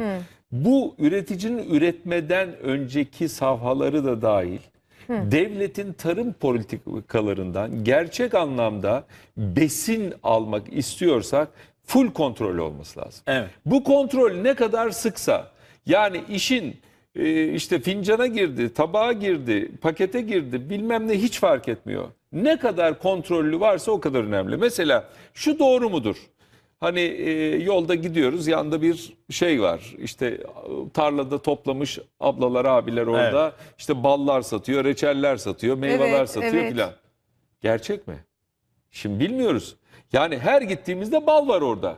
Ya bu adam bu kadar bal üretiyor mu? O, Gerçekten o doğru bölgede mu? o kadar bal çıkıyor mu? Ha, anlatabiliyor muyum? Bilmediğimiz bir şey. Yani Görüntü psikolojik olarak ikna Psiko- edici tabii, işte Köylü o da teyzeler, köylü iletişimle amcalar. ilgili bir Evet. kavram kullanıyor. Yani ha dijital olarak kullanmış bunu yaymış ha da öyle. Şimdi neyi söylemek istiyorum? Tabii ki e, hani dünyanın her yerinde tarım e, işçileri veyahut da tarımla uğraşan herhangi işte köylüler, möylüler hepsi orada ürünü satabilirler. İşte bunu kontrol etmediğimiz zaman oradaki masumane olaydan buradaki e, markete gelen kutu içindeki herhangi bir ürüne kadar hepsini kontrol etmek zorundayız. Ne zaman? Başkanlık sistemi bu için var işte. Şimdi geldi başlıyor. Yani tarım politikalarını tekrar yazıp gıda politikalarını tekrar e, icra etmezsek bunların gerçekten tuğla kadar e, şeylerini kitaplarını yazmadığımız sürece bunların hiçbir anlamı yok. Tüketici Şimdi sahipsiz mi sahipsiz zaman? şimdi yani şöyle Böyle bir denetim mekanizması Tüketici olmazsa sahipli sahipsiz mi sahipli mi? Bak medya öyle hızlı çalışır ki bu işlerde. Şimdi biz diyelim ki biz şimdi eninde sonunda işte bizi milyonlarca insan seyrediyor şu anda. Hani e, kahveyi aldık diyoruz ki işte kahveden bahsederken veya da x bir ürün verelim. Ben bununla ilgili kötü bir yorum yapsam. Yarın emin ol kahve e, Satışları satışları düşer. düşer. Bakın e, tüketici öyle bir davranış şekli izliyor ki gıdada. Övdüğüm zaman bile negatif şey etkisi olabiliyor bazen. para almış Ama- reklamını yapıyor diyor. Ha, tabii yani bir şey Yani, bilemiyoruz evet, öyle evet. diyor. yani dolayısıyla gıda dokunulmayacak bir ürün. Yani aynen uzun süreden beri Türkiye'de ilaç sektörünün reklamları yoktu. Olmaması da lazım bence. Çünkü ilacı kim verir? İnsan tercih etmemeli. Çünkü çok hızlı bir şekilde kötü kullanılabilir. Gıdada da aynı şekilde. Ne kadar minimize edersiniz. Bakın bugün iyi veya kötü artık e, sen belki çocuklardan biliyorsun. Kantinlerde işte e, bilmem ne işte e, ne diyorlar kolalı ha, evet. bilmem ne içecekler Denetim yasaklandı. var, evet. Müthiş bir operasyon. Evet. Niçin? Tek bir velinin şikayetiyle bile e, şey- Hayır bu ama bunlar denetimi Yani çok- sıklaştıracaksın. Gerçek bakın şimdi şunu söyleyelim bütün izleyiciler burada e, dikkatli olsunlar. Şimdi hani böyle şehir efsanelerinden bahsediyoruz. Diyoruz ki falanca kolanın e, işte içindeki maddeler bilmem nerede saklanıyor. Yani böyle bir şey Sordum yayından önce. He, yayından önce. Böyle bir şeyi unutun. Böyle bir şey olamaz. Çünkü herhangi bir şekilde bir bir ülkeye buradan şeyi de söyledim. Hindistan, Türkiye, Almanya, Amerika fark etmez. Gıdayı kontrol eden bir sistem onun tüm reçetesini almak zorunda. Evet. Doğru mu Hüseyin? Evet, evet, evet, evet. Şimdi sen Onun bu bütün işte bu işin ayrıntısı- üstadısın. Bu, bu bütün ayrıntısını vermeden en ince detayına o ülkeye giremez. Yok öyle bir sır diye bir şey yok. Sır diye bir şey kalktı artık. Bunlar Bu işte bu 1800 patent hakları bilmem ne falan bilmem ne bir bir bir birçok konular Reklam konuşuluyor. stratejisi gibi bir ne şey. zaman Tabii Hale güzel bir reklamı. Kasada saklıyoruz abi. Acayip bir şey. Öyle bir şey var ki filan. Evet. Yani dön- dönüp tekrar gelirsek o kadar artık teknoloji o kadar kontrol altına alınmak isteniyor ki. Hmm, Kimler tarafından? Teknoloji Devletler mi? tarafından. Tek, hani bu teknoloji de- Ha, dedik evet, ya evet. işte e, hasattan e, şeye kadar tarım izlenebilirlik bir kavramı var. Çok önemli bir kavram. Hemen Sizin- bir soru. Pastanın ömrünün bir, bir yıl uzatıyorlar diyor. Bu nasıl oluyor diyor. Do, do, dondurma işte Evet. bakın Hikmet bir Yılmaz kere sormuş. bir, bir, Evet. bir pastanın ömrünün bir yıl uzatılması kimyasallarla yapılan sistemler var. Üzerine atarsınız zehiri. Hiçbir bakteri, makteri bilmem ne kon, konmaz. Onu da e, e, dolayısıyla bozulmaz. Bu ayrı bir şey. Bunu kontrol eden bir mekanizma var mı? Var. Oradan gidip numune alan tarım il müdürlükleri var mı? Var. Bakın adli tıp diye bir şey var. Yani bir insan ölüyor. Tırnağından çıkan bir tane e, kum tanesinden hangi plajda olduğu, hangi yerlere gittiğini tespit ediyor. Ya bir kum taneciliğinden bu kadar şeyi e, sonuca varan bir sistem senin domatesini mi, pastanı Kontrol mı etmeyecek. kontrol etmeyecek? Edecek. Ediyor da. O yüzden bu kısımları bir kenara bırakırsak bu kontrol ediyor ve ağır cezalar veriliyor, verilmesi de lazım. Tarım Bakanlığı son dönemlerde bazı markaları deşifre de ediyor. Bazen yanlış ana, a- a- analizler de oluyor.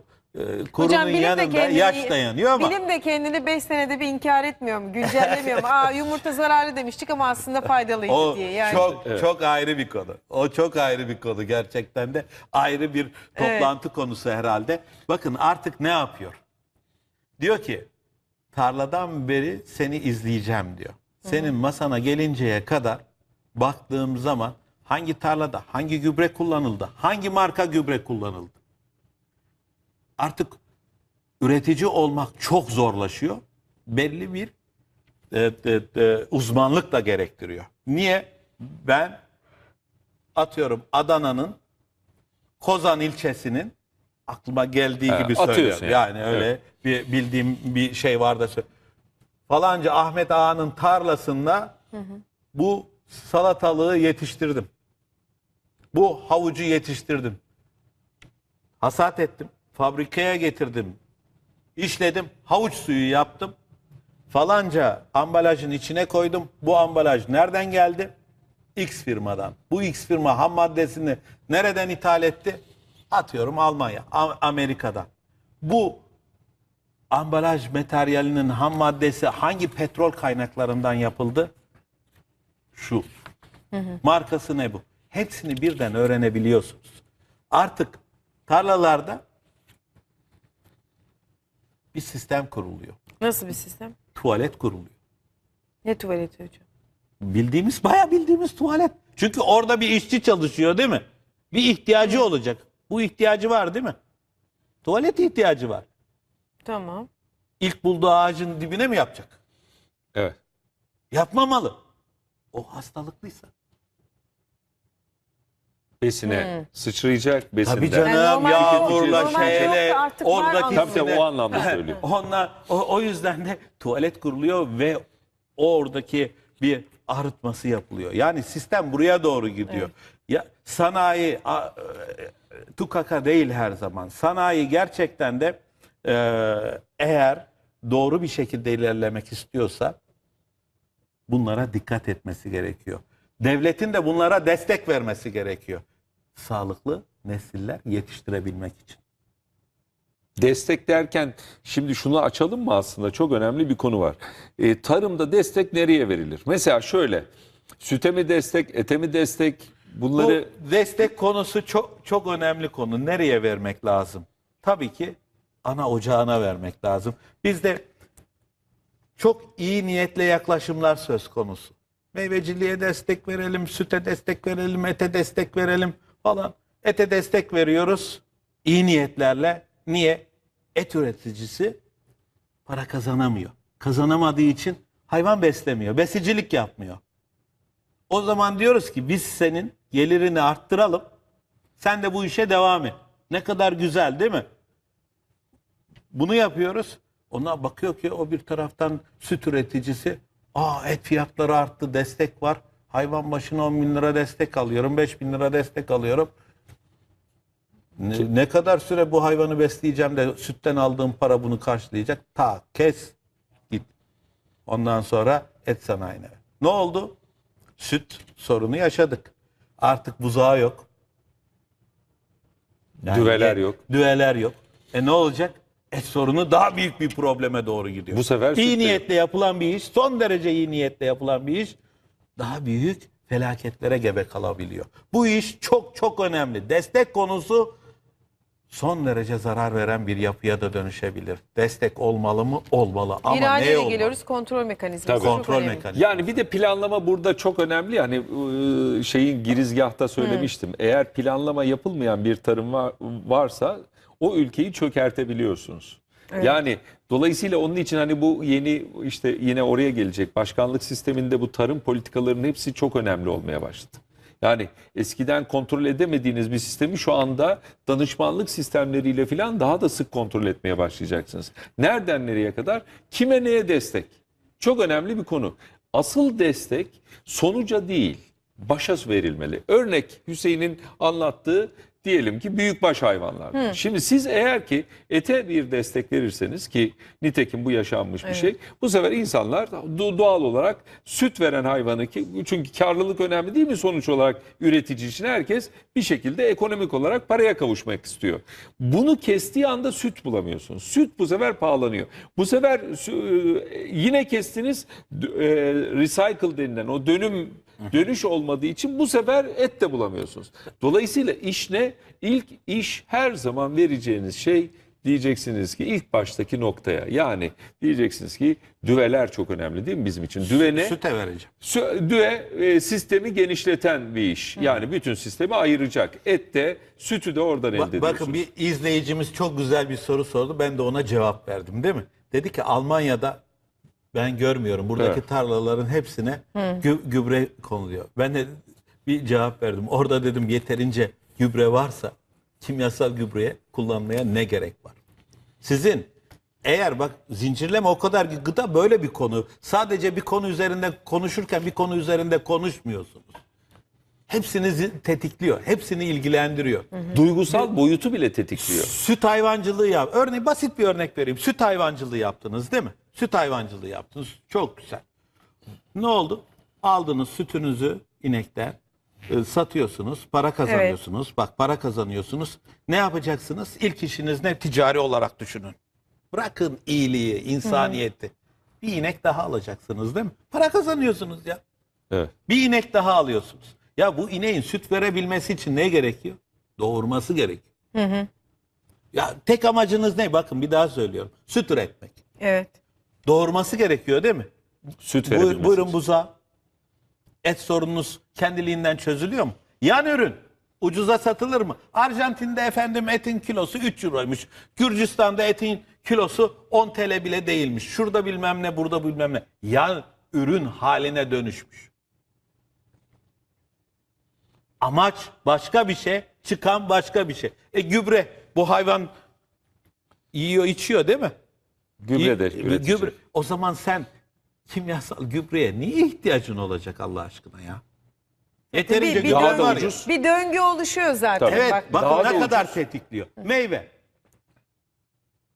evet. direkt ihracata işte efendim teşvik verelim. Giden 100 kilo ürüne şu kadar verelim. Tamam. Tak tak tak tak tak tak tak kesiliyor.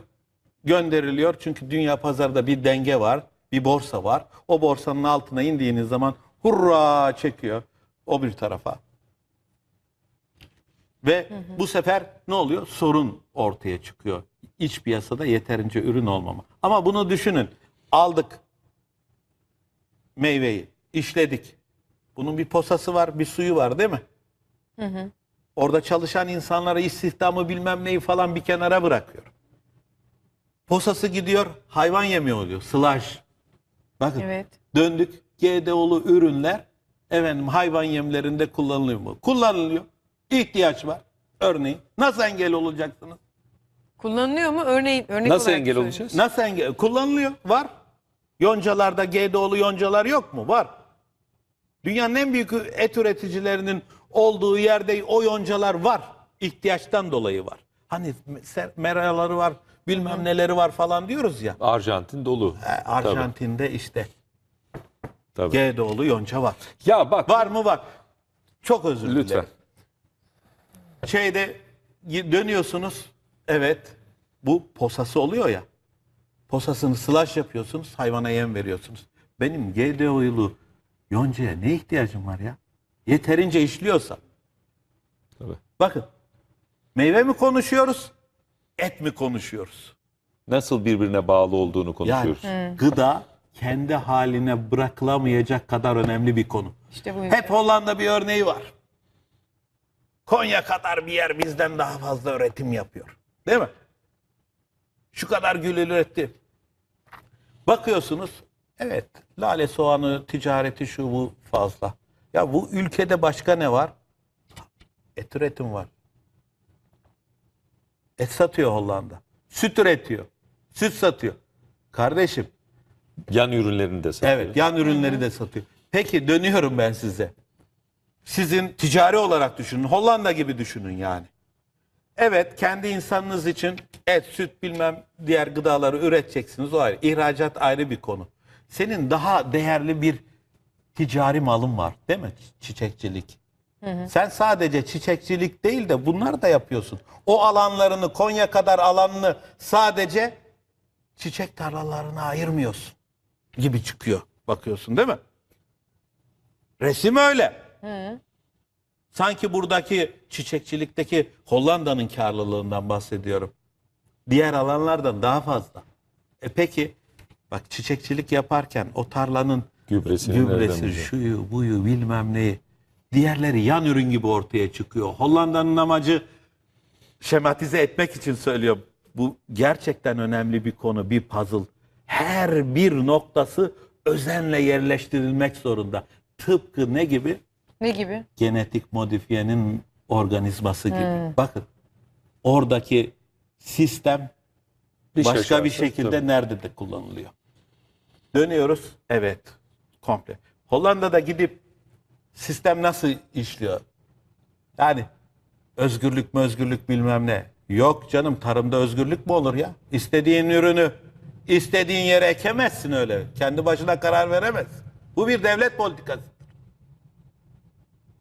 Sen çiçek ekeceksin. Sen patates ekeceksin. Yok bu- öyle bir şey. Burada bu ekilir, burada bu kadar evet. ekilir. Evet, Bunun yani söylerken de Aa, benim canım böyle istiyor diye de yapmıyorlar tabii. tabii. Araştırıyorlar. O tarlaya en uygun neyse dev, o ülkenin ihtiyacı neyse o. Doğru. Ziraat mühendisleri çalışıyor mu bizde bu konuda? Hani çünkü, Ka- çünkü kağıt şöyle. üstünde mükemmeller yaratıyoruz. Uygulamada problem yaşıyoruz. Çünkü sen de bir Nasıl yani? elinde sonunda gıda Çünkü mühendisisin. niye? Bizim insanımız, Türk vatandaşımız diyelim, özgürlüğü seviyor. Ne demek Tamam, istiyorsun? ne- Yani ne, yapısında yani tarihsel olarak baktığınız zaman işte e, e, e, hiçbir zaman esaret altına girmemiş yani. Bir Evet. özelliği var.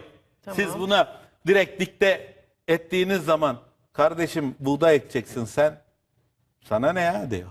Yani mecazen söylüyorum. Ama bakın bunun gerekliliği anlatılırsa yani bu şekilde senin özgürlüğüne bir müdahale değil burada. Bizim 38 milyon hektarlık bir tarım alanımız var. 38 milyon hektarın 15,5 milyon hektarlık alanına ekip biçiyoruz değil mi? Evet. TÜİK'in verilerine göre böyle. Tamam. Bir kere en önemli konu ne? Gerçekten 15,5 milyon hektara ekim yapıyor muyuz? Bu verilerin sağlam olması lazım. Dönüp ondan sonra bizim patates ihtiyacımız, bizim buğday ihtiyacımız. Gene TÜİK'in verilerine göre biz gerçekten de 15,5 milyon hektar araziyle bile ekilebilen araziyle işte Nadas'a bırakılan 3-4 milyon hektara Dahil da olmak düşersen üzere. 11 milyon hektarla bile bu insanlara yetebilecek durumdayız. Bir dakika sonra reklama gideceğim hocam. Ziraat mühendisleri için ne demek istiyorsun net olarak? Dedi ya Ertan hocam. Ben diyorum ya kağıt üstünde çalışıyorlar. Hepsi çalışıyorlar. Uygulamada sıkıntı yaşıyoruz. Ziraat mühendislerimizin eksiği yok. Bizim mühendislerimizde eksik yok. Devletin analiz metotlarında da eksik yok. Bir yerde takılıyoruz.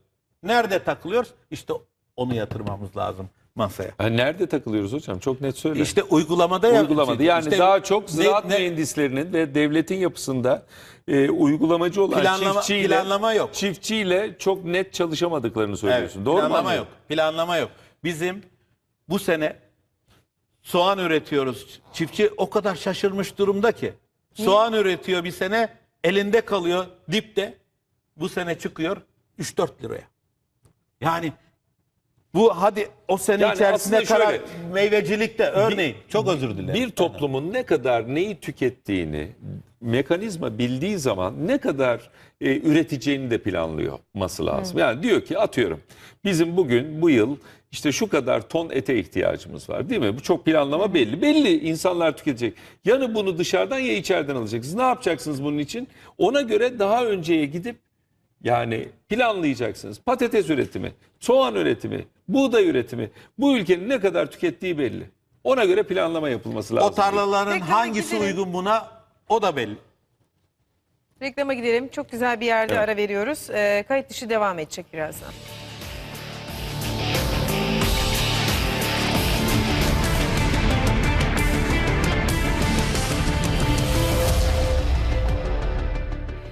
Kayıt dışında artık son bölümdeyiz değerli izleyiciler. Bu bölümde de kayıt dışında soruyorum etiketiyle yorumlarınızı ve sorularınızı bekliyoruz efendim.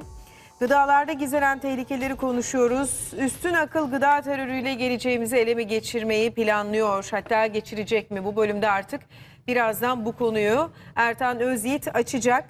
Ee, bilginize e, gıda terörüne bu bölümde e, süremiz el verdiğince gireceğiz ve e, baştan beri duyurduğumuz gibi medyanın özellikle sosyal medyanın gıda tüketiminin etkisini konuşacağız. Çok önemli.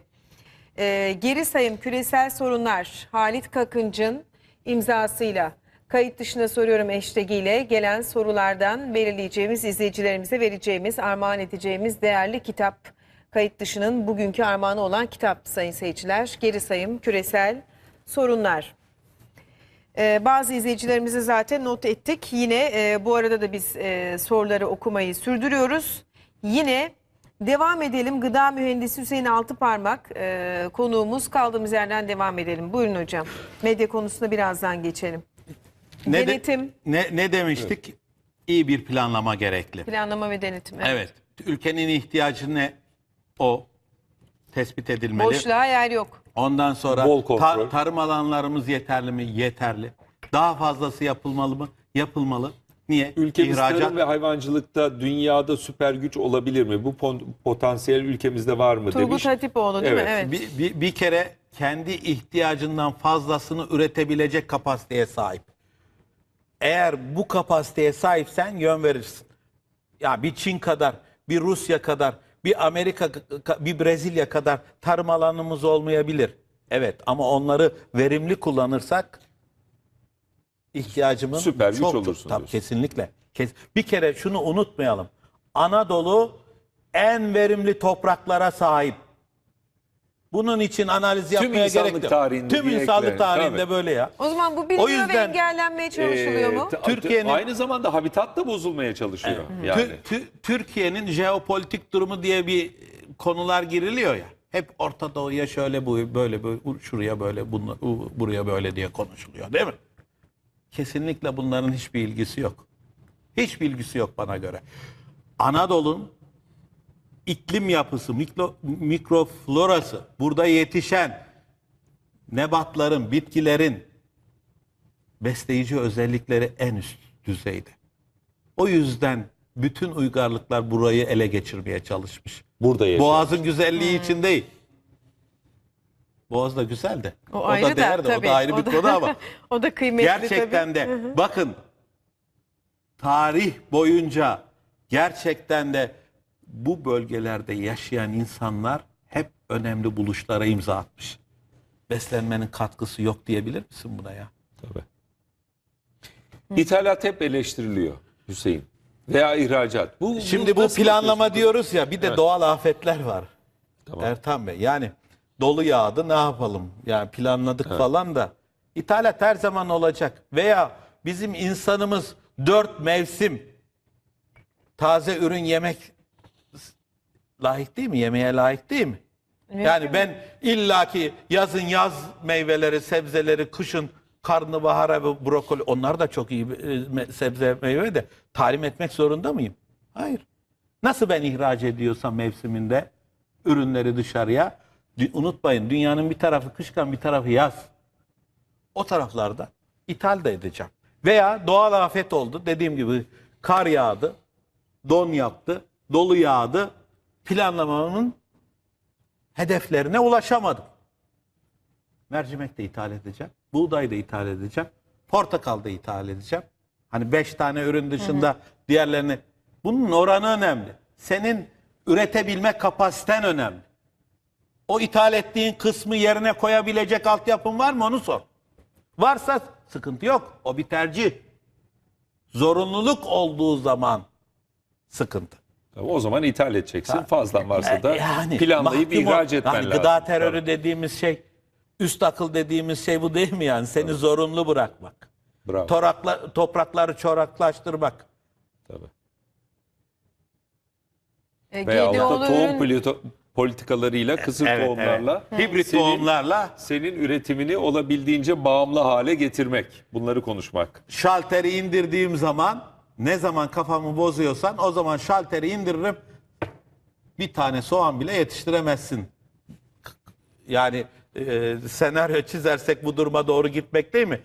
Tohum politikalarının Ya bana para sonucunda. ödemezsen artık aç kalırsın diyor. Çünkü tohumun diyor patentini aldım. Bu patent politikalarıyla diyor benim tohumum kim üretiyorsa aynı e, şey gibi yani e, laboratuvarda hangi ür- kime ait olduğunu biliyorum artık onun. Yani herhangi bir şekilde herhangi birisi üretsin ka- kaçırarak bile üretse onu analiz ettiğimde bu benim tohumumdur diyebileceğim teknoloji var. Evet. Bunun peşinde. Dolayısıyla bundan sonra diyor ki Karbonizm. bu üstün akıl.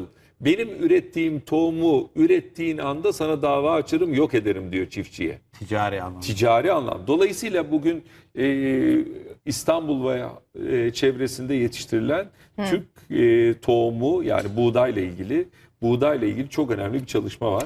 Bu çalışma için tebrik ediyorum. Müthiş bir operasyon. Yani çünkü dışarıya bağımlı ama bir şeyden korkmama, korkmamız lazım. Nedir? Ee, iyi veya kötü işte birbirlerini aşılama kısmı var ya dölleme kısmında eğer ki GDO'lu bir ürünle döllenirsek o zaman onun yine e, oluşturulacak ürünler yine Oğul patent ürünler. olarak benim olabilir. Bu en büyük tehlikelerden bir tanesi. Siz ne kadar bizim tohum bankamız var derseniz deyin. E, döllemeyi yapan benimse o zaman benim malım olabilir. Bu büyük tehlike. Hani Bu konuda e, bir boşluk mu programın sonuna doğru açık- bunları yani bu boşluk değil bu üstün aklın Dikkat- oluşturmuş dikkat edilmesi gereken- sistem. Dikkat edilmesi Bunu- gereken bunu- üzerinde Hani dikkat etsek ne kadar e, bunu engelleriz engellemeyiz bilmiyorum. Ben bir kitap vereyim mi birisine? Kime? Fatih Mehmet Genç diyor ki Ertan Bey domatesi Osmanlı'ya tanıtan Halep 1799-1825 arasında İngiliz konsolosu olan John Becker'ınmış. Siz ne dersiniz diyor. Ya, Hiç değilse bir e, araştırma yapmış. Fatih Mehmet Genç bizden geri sayım kitabından bir tane aldı. Üstad buyur. Bu arada e, bizim o az önce söylediğim e, Sezer Bey, Sadık izleyicimiz demiştim. Bir ilaç firmasının GDO'lu tohum üreten Monsanto'yu almasının anlamı ne demiş? Ee, şimdi yalnızca sistem şöyle bakmayın.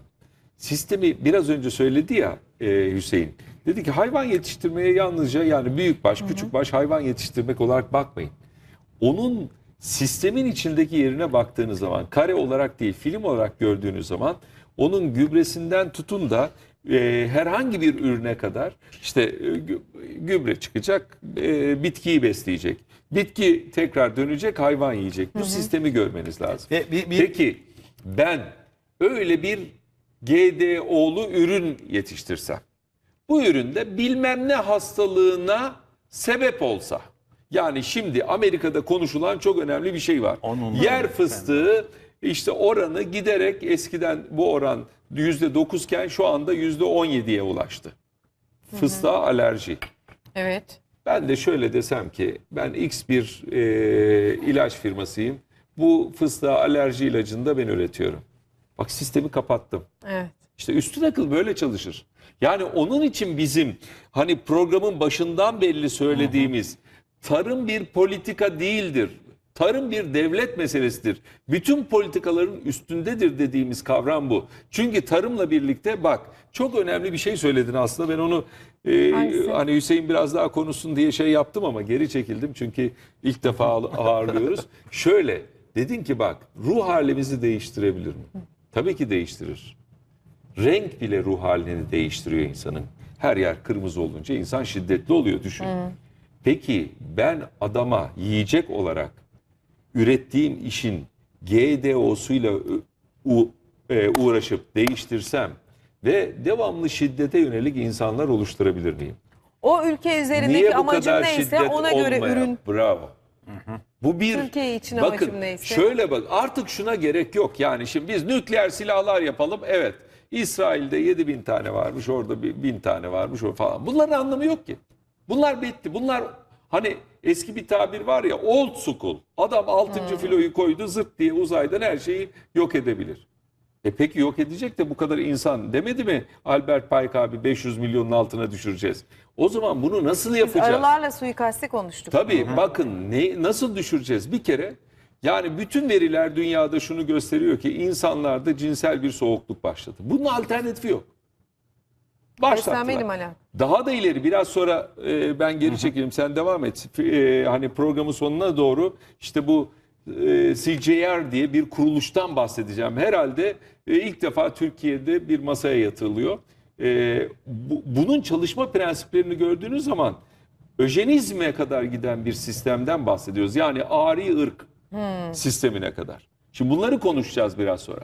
Bu Hüseyin sen devam et istersen. Şimdi, şimdi dedi, dediğin gibi yani gıda son derece bir önemli bir, Bir silah, devlet devlet tabii. politikası. Savaşlar artık eskisi gibi değil. Savaş nükleer bomba attınız değil mi? Bir yere yok ettiniz. Tamam. Onun işte nükleer bulutunun rüzgarın etkisiyle o birilerine de etkisi var. Yani sadece kullanan e, e, atılan taraf zarar O, görmüyor. o lokasyonla Ama sınırlı değil senin tabii. yediğinle ben oynarsam bir tek seni ve çevreni. Benim hep lafım var ya. İsrail atom bombası atamaz. Çünkü kendi de etkilenir. Alternatif yok. Çünkü tamamıyla e, yani oksijenle ilgili kavramı veya habitatın bulunduğu tüm kavramı etkileyebilir. Yediğinden, havandan, suyundan her şeyi etkiledi. Ama Hüseyin bak cımbızla çekelim.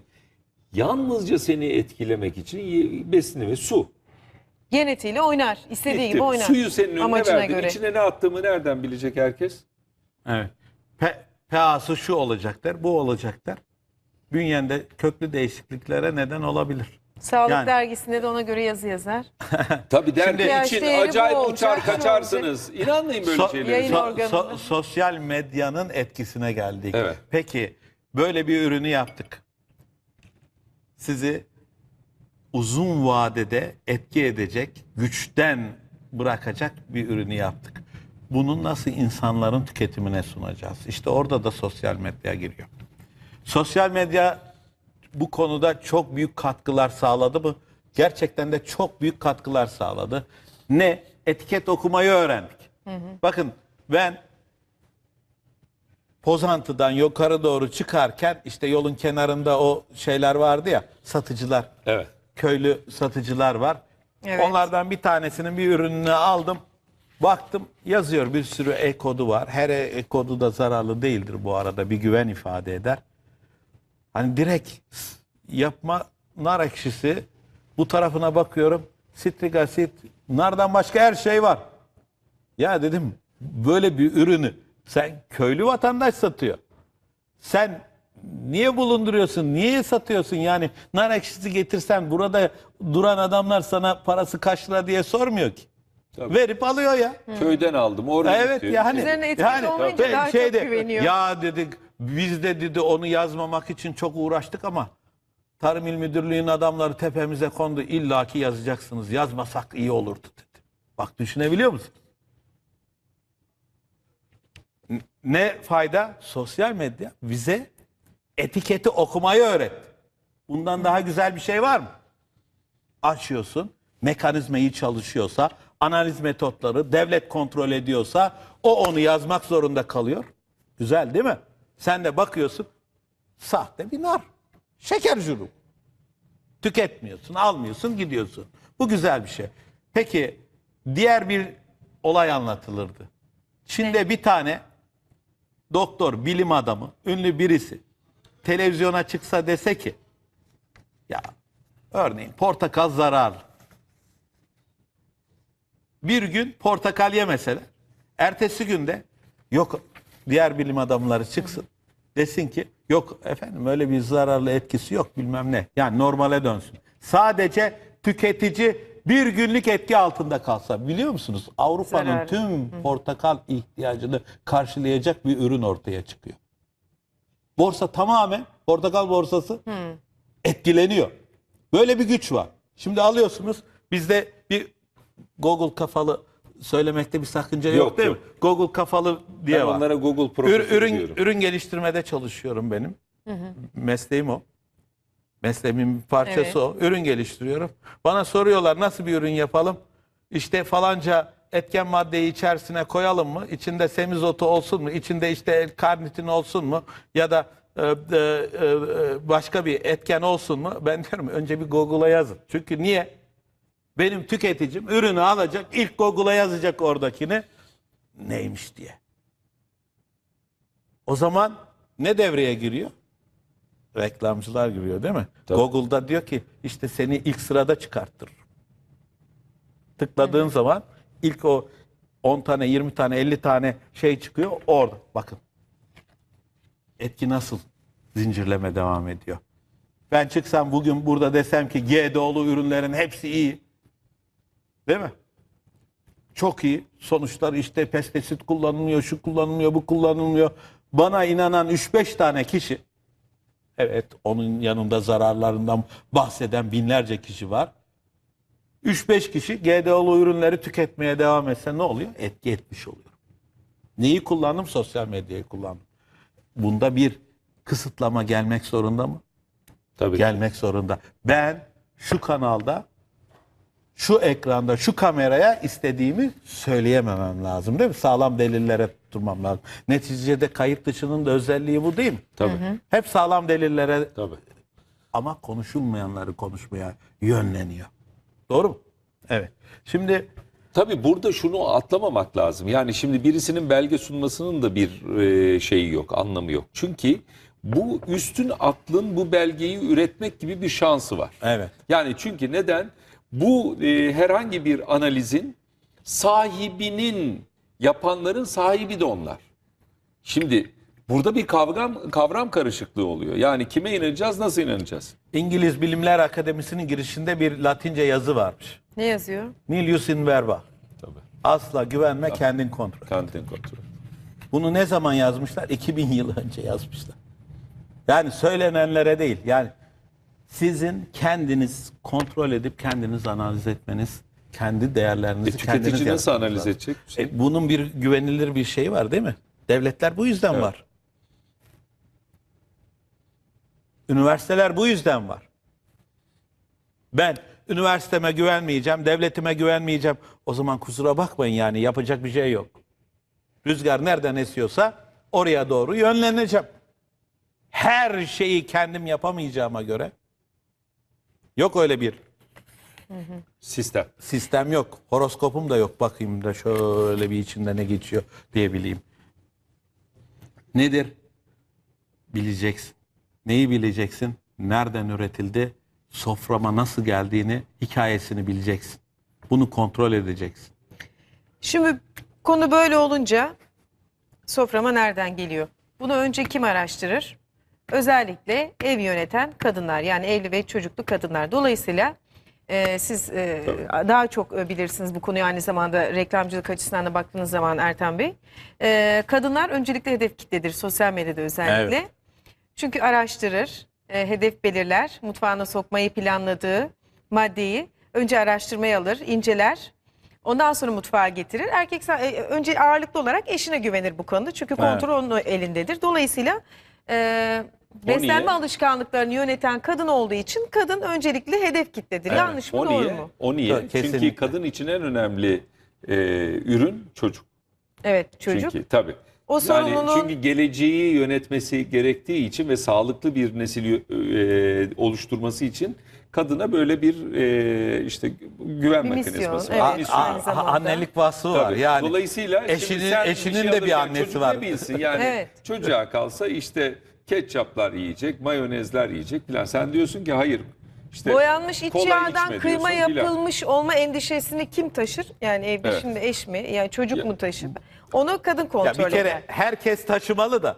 Aslında kadın öyle ama- daha bu, Bu konuda sahip. Evet.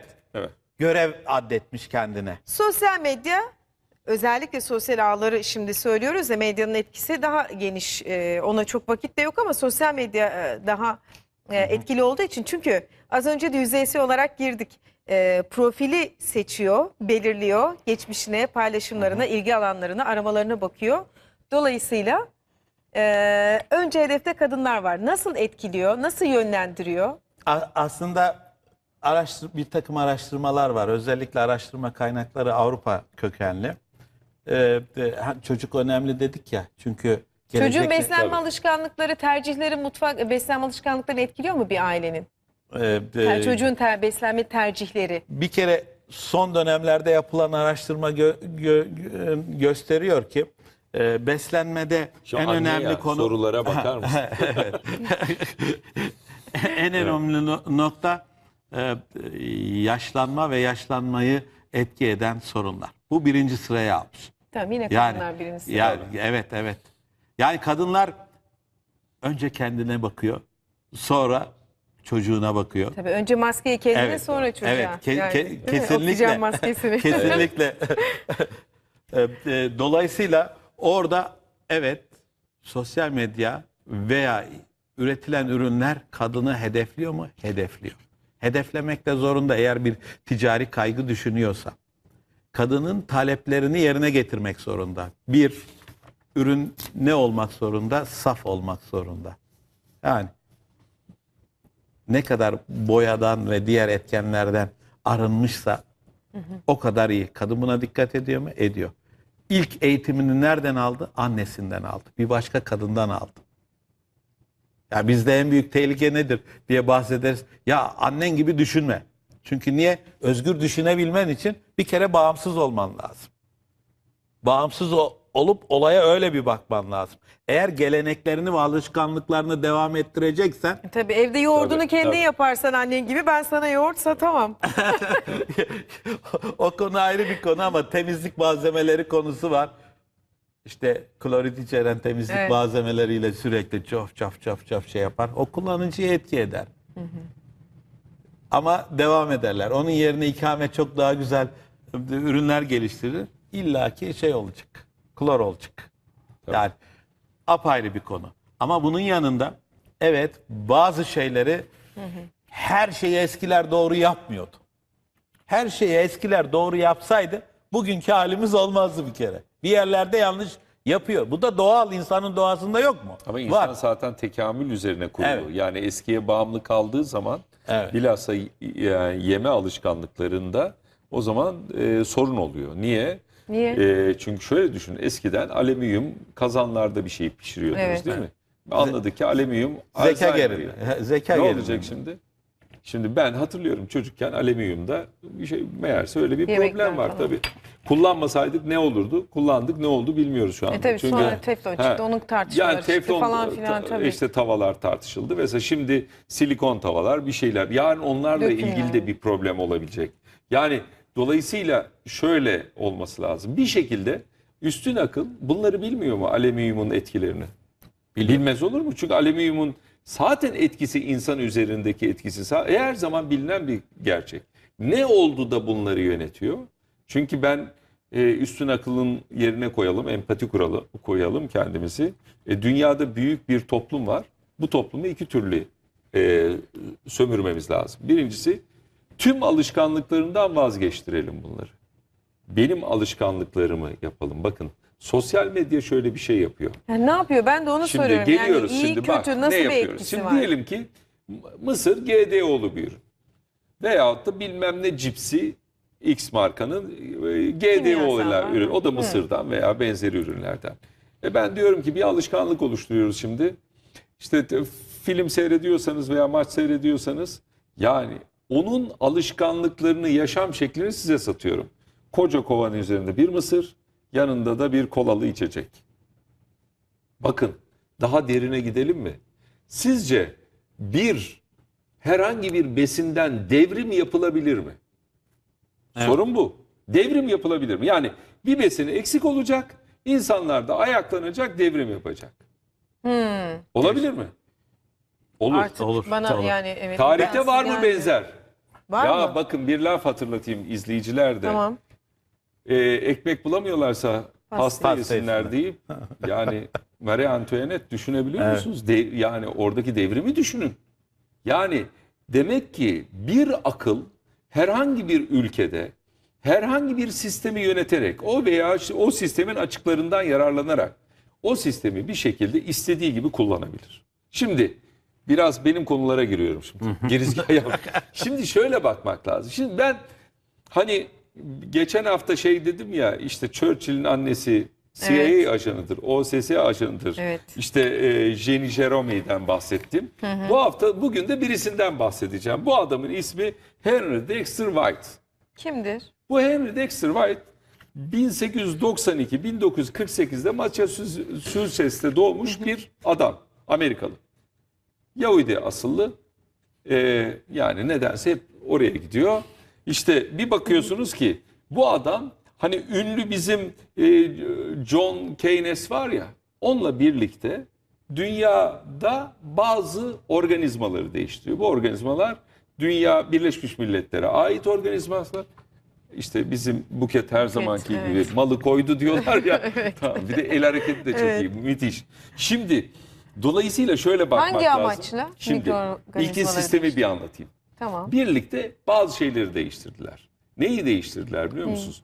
Dünya hani bizim bahsettiğimiz Dünya Bankası var ya. Evet. Dünya Bankası'nı kurdular. Ya bu masumane bir şeyden bahsediyorum. Çünkü dediler ki Dünya Bankası'nda paralar toplansın. İşte bunlar e, gelişmekte olan veya da kullanmak isteyen IMF'de bunun alt e, e, parçalarından bir tanesi kurtulduk. Binlerce şükürler olsun Sayın Başkan'a. E, e, dua etmesi lazım Türkiye'nin. Yani dolayısıyla şöyle bakın bu sistemi kurup insanlar. Bunun alt sistemin ismi ne? Şimdi ben bir e, örgütten bahsedeceğim. Bu örgüt bunun altında gözükmüyor ama direkt buna bağlı. CGR diye bir Evet. örgüt. Az önce Evet. CGR denilen örgüt 1971'de başlayan hikayenin yani genetiği değiştirilmiş organizmalarla başlayan hikayenin uluslararası tarım araştırma işte vesaire vesaire uzun ismi olan bir yapı. Şimdi bu Rice'la ilgili olan kısmı onun yani şey e, e, piri- pirinçle ilgili olan kısmı. Şimdi şöyle bir yapı var. Bu bahsettiğimiz White şunu yaptı sisteme enjekte olarak girdi ve dediler ki arkasında Rockefeller fonu var, Ford fonu var. Yani e, bu 12 ailenin hepsinin arkasında olduğu bir yapıyla birlikte dünya tarımına nasıl şekil verebiliriz dediler. Bunlar nasıl olabilir? Dediler ki gelişmekte olan tüm tarım sistemini nasıl yapalım da iyileştirip kontrol edelim. Bunların iyileşebilmesi için dünyada açlık Hindistan'ı hatırlıyorsun Evet, değil mi? evet, Hindistan'da büyük bir açlık başladığı dönemler bunlar. Yani bu bile manipüle edilmiş olabilir. Bu Hindistan'daki açlıkta örnek olarak biz bunu hemen engellememiz lazım. Dolayısıyla bununla ilgili manipülasyonlar yapıp e, genetiği değiştirilmiş organizmalarla daha verimli üretilecek ürünler, tarım ürünleri çıkartmamız lazım. Güzel. Fıstık gibi ne güzel ideal. Sonra diyor ki Önce ihtiyaç doğ duruldu. tabii tabii. Bir ihtiyaç var. Bunun dışında diyor Kılıf bu sistemin Evet, diyor. evet. Bu sistemin tüm var olduğu yapıyı bir şekilde diyor bu sistem CGR dediğim sistem bir şekilde diyor iyileştirmenin dışında bu sistemi tüm uluslar katılsın buraya. Tarım politikalarını bize anlatsınlar. Bizim yeni belirleyeceğimiz gelişmekte olan tarım politikaları onlara ithal edelim. Şimdi ne demek istiyor?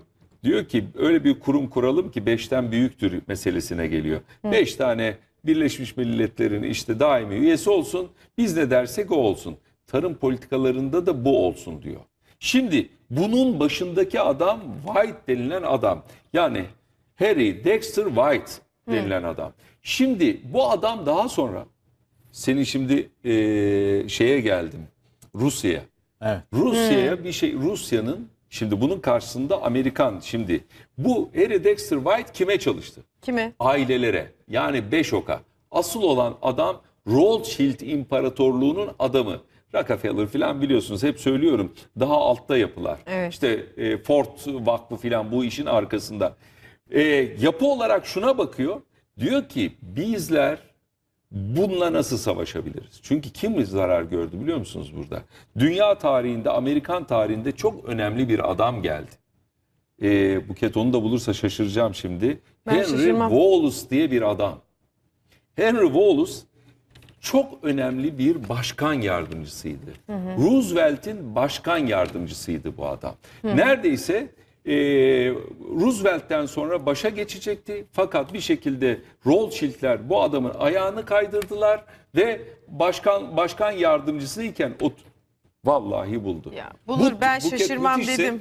e, şöyle söyleyeyim bu adam dünya, Amerikan tarım politikalarını değiştiren GDO'nun olmamasını sağlamak isteyip melez ürünlere yönelmesini sağlayan adam hangi konuda? Mısır konusunda. Fakat bu adamı Rothschild'ler istemedi. Wallace'ı ve e, Ro- Roosevelt'ten sonra e, işte Ro- bu 30, 33. Amerikan Başkan Yardımcısı. Roosevelt 32. başkandı. Roosevelt'ten sonra bu adam gelecekti. Fakat bir oylama sırasında bu adam yüksek oy almasına rağmen Rothschild'ler adamın ayağını kaydırıp adamı Amerikan siyaset tarihinden yok ettiler. Bu adam eğer bugün olsaydı Kennedy'den daha önemli bir adamdı. Bakın yeni bir şey söylüyorum. Bahsettiğim adam Henry Wallace. Şimdi bunu niye anlattım? Kavga Amerikan derin devletiyle Rothschild'ler arasında o dönemde devam ediyordu. Çünkü Amerikan derin devletine e, derin devleti GDO'lu ürünleri e, Amerikan toplumunuza satamazsınız dedi. Bunun karşılığında bahsettiğimiz White denilen Dexter White denilen adam da bunu yönetiyordu. Evet. Ne yaptılar ve White'a biliyor musunuz? Ne yaptılar? Adamı e, Rus ajanı olarak ilan etti. Tarım politikalarını yok etmek için. E, Derin Amerikan devleti yani 1733 dediğimiz derin Amerika isterseniz buna Pentagon deyin ve adam bir şekilde kalp krizinden öldürüldü. Şimdi hani o bitinin Evet. ismi nedir? Kalp krizine şey olan yüksük oku Yüks- o- otu vardır biliyorsunuz. Ondan yaparlar ki kalp krizlerine işte onu Doğallık. içersiniz. Doğal olan bir bitkidir. Yüksek dozda yüksük otu aldığını iddia ettiler bu adam. Yani sistem aslında kavga e, aynı İpek yolunda veyahut da bahsettiğimiz Ejder yolunda olduğu dönemde de o dönemde de gıda üzerine devam ediyor. Şimdi bunu böyle okuduğumuz zaman CGR unutmayın tarım politikalarını belirleyen asıl merkezdi. Ama bunu e, yine söylüyorum Birleşmiş Milletler veyahut da başka bir e, kuruluşun altında göremezsiniz bu sistemi. Buradan nereye geleceğiz? Bu sistem şunu söyledi yani Rothschild'ler biz ne yapıp edip tüm tarım politikalarını dünyadaki insanları yönetmek için kendimiz uygulamalıyız. Şimdi Afrika aç olabilir mi? 2 milyar insanın açlık sınırında olduğunu söylüyoruz dünyada. 2 milyar insan. Buna karşılığı 600 milyon obez insandan bahsediyoruz. Evet. Ve şimdi hani yalnızca Türkiye'de atılan e, hani e, Ekmekler. ekmekler yani bir şekilde atılmasa tabii Evet. bir şekilde e, açlık sınırında yaşayan insanlara verirse insanların açlık sınırı kapanıyor. Yok yani aç değiller bu adamlar. Dolayısıyla asıl olay nedir bu ise? Adam diyor ki White'ın yazmış olduğu kendi özel notlarında. Diyor ki asıl bizim işimiz insanları olabileceği kadar e, hayat tarzlarını daha çok gıda tüketmeye yöneltelim. Amerika'daki şimdiki en büyük sorun ne? Obez. Obezite. Hani filmler var ya şimdi bilmem ne kanalında ağır yaşamlar filan çok Evet. popüler oldu filan fişmekan ya. Bütün sistem o obez yapmak. Çünkü obez yaptığınız bir insan tek bir şeyi düşünüyor. Bana ne ya Ee, Amerikan başkanını sorsan adamın umurunda değil. Çünkü adamın tek bir isteği var. O da tüketmek. Yemek. Yemesi lazım. Yemek. Şimdi böyle bir toplum hazırladığınız zaman hani biraz önce söyledim ya pasta e, yesinler ekmek değil meselesi gibi e, insanları yalnızca yiyeceğe yönelttiğiniz zaman sistemi yönetmeniz lazım. Bunun arkasından ne geliyor? Yiyeceği yönelttiniz obez oldu adam. Obezitenin en büyük yan ürünlerinden bir tanesi ne? Kendisiyle ilgili hastalık. O da ne? Şeker hastası hepsi. Bu sefer ne yapıyoruz? İnsülin hapı verelim değil mi bunlara? Aynısı Sürekli. biraz önce sorduğun Monsanto bilmem neyi almış Evet. mı almamış mı meselesi. Ya ben bu Buyurun, sefer burada toplumun... ilacı var. He, burada ilacı- Elimizde Ha, hazırlanma yapılmış. yapılmışı var. Yani sistemin hepsini yönetmeye Evet. başlıyorum. Şimdi Biz ne yapmalıyız ki? Şimdi izleyici de soracak. Biz ne yapalım ki E, böyle? yıllarca kendileri o yüzden mi yaptı o televizyon karşısında tombik tombik oturan adamlar Tabii dizileri yani böyle. iki tane şey var. Bakın- Biz Amerikan de satın aldık yayınladık ama neyse çok o tuzağa Yani düşmedik. Amerikan yaşam tombik, tombik sistemi. aileler Evet. evet hep televizyon karşısında önlerinde mısırlar. reklamlarda- Yalnız mısır değil bir şey daha var. Ay, koy. Dondurma. Ha. En önemli şey. Dondurma bildiğimiz gibi hani bu ünlü İtalyan Roma dondurması falan değil onlar. Onların yani frittoz de ne dersen de karışımlarına çok dikkat edin. glikoz, yani bilhassa sen- annesin. Yani hani bu bahsedilen dondurmalara falan çok dikkat et. Yani dolayısıyla şunu söylemek istiyorum. Önemli olan bir de şöyle. Sistemi nasıl uyuşturacağız? Televizyon var. Aptal kutusu diyorlar yani Evet. o dönem koydu önüne. Şimdi biz kayıt dışı olarak üst akılla ilgili, üstün akılla ilgili formatları çözmeye çalışıyoruz. Bize adam diyor ki abi kayış hattı fazla yüklendiniz bu sefer filan veya bana diyorlar hani işte artık uçakla uçmaya başladı iyice uçtu adam filan diye. Şimdi ama öteki adam için bu değil. Bir dizi koyuyor adam. Adam saatlerce herkes o diziyi bekliyor. evet, Bak ne güzel sistemi yönetiyor. O Oturuyor. diziyle birlikte oturuyor. Yemesi ya, bir lazım, bir hafta şey sonra yapması onu lazım. konuşuyor. Bir hafta. Veyahut da daha önemli bir sistem var. İnsanlar neyi konuştu geçen ay? Herkes futbol konuştu. Evet. Yani futbolun konuşulduğu bir ortam hazırlıyor. Futbolu kim yönetiyor? Bunu bir program yapacağız. mi? İzleyicileri tabii tabii. Tamam. İzleyicileri söyleyelim. Ee, futbolu kim yönetiyor? Futbolun arkasındaki güç kimdir? İşte bir futbolla başlıyoruz. Eğlenceli bir şey. Hepimize ya Öyle dizide olması de- gerekiyor Dizide aslında. de eğleniyorsun. Bunun dışında adam futbolla ne yenir başlıyor. Ç- çekirdek mi çitleyeceğiz? Mısır mı yiyeceğiz? Kola mı yiyeceğiz. Anlatabiliyor muyum? Şimdi bak yaşam tarzı. Ondan sonra beylerin hepsi oturmuş. Ya Yalçın Koç'a bu anayım. Asam'da toplantımız vardı bugün. İşte Stratejik Araştırmalar Evet. Derneği'nde. E, şu- dedim ki ya Yalçın abi göbek yapmışsın filan. Ya dedi Ertan bizim zamanımızda kimsenin göbeği yoktu. Bak Hüseyin. Çünkü insanlar yeme alışkanlıklarını değiştirdi dedi. Çünkü niye? Bu işte bahsettiğimiz sistemler oluştu. Televizyon veyahut da işte e, yeme alışkanlıkları. Ne yiyelim? Ya bilmem neyin yanında ne olmaz? Ya şimdi hani bahsettiğimiz domates bile e, bizim toplumumuza hani daha sonradan girme bir ürün. Kahve öyle bir ürün yok. Hani bizden geçmiş ama çorbayla başlayan bir sabah kahvaltısı varken biz de şimdi ya abi işte bilmem ne Cornflakes şeye girelim ellerinde kutularla falan dolaşan bir sistem oldu. Birisi bunu bize pompalıyor. Bir anımı paylaşayım Lütfen. mı burada? Ben yurt dışında bir sempozyuma katıldığım zaman, bir eğitime katıldığımda orada şöyle bir kelime geçiyordu. Bu Çin'in yükselişi e, de, söz konusu oluyordu. Bu Çinlilerin alışkanlıklarını değiştirmezsek bizim sonumuz olur diyorlardı. Neden? Çünkü, nasıl besleniyorlar? çü- çünkü kendilerinin hakim olduğu Hmm. ürünleri tüketir duruma getirmeleri lazım ki süreklilik sağlansın. Hem süreklilik hem de tüketim gücünü düşünsene Beyza. 1.2 Çinli var. Evet. Adama diyorsun ki abi sen işte bir mısır tüket yanında da kolalı içecek. O hep, Her gün o kitleyi yakaladın mı? 1.2 milyar satıyorsun. Evet. Evet. Şimdi bu adamın şimdi bir bir de Çinli çok kardeşim ne yapacağız bunları? E, besin bir şekilde kontrol edilebiliyorsa bu adamları bir şekilde kontrol etmeliyim. Bu adamları ya uyuşturacağım. Bakın Çin'deki ikinci darbe geliyor. Çinlilere buradan selam olsun. Birincisi çok önemli bir operasyon yapıldı Çin'in zamanında. Neydi? Uyuşturucuyla ilgiliydi. Hatırlıyor Evet, musunuz? evet, evet. Yüzyılın Yani başlarında. haşhaş savaşlarının bile olduğu dönem. Bütün Çin'i uyuşturdular. Çünkü 1 milyar iki- e, 200 milyon insanın dünyaya çıktığını düşün. Onun için uyuşması lazım o toplumun. Çıkmaya başlıyorlar ya. Dünyada en çok baskı yapılan ve bu arada bunu yanlışım varsa Hüseyin düzelt. En çok kontrolü yapan, yiyecek kontrolü yapan ülke Çin. Çünkü bu savaşı gördü. Bana bunu uygulayacaklar diyor. Ne yap- yapmalıyım ki işte GDL ürün, üründü vesaire işte modifiye üründü, kısır, kısır tohumdu bunların önüne geçmeliyiz. Türkiye bu işin çok başında.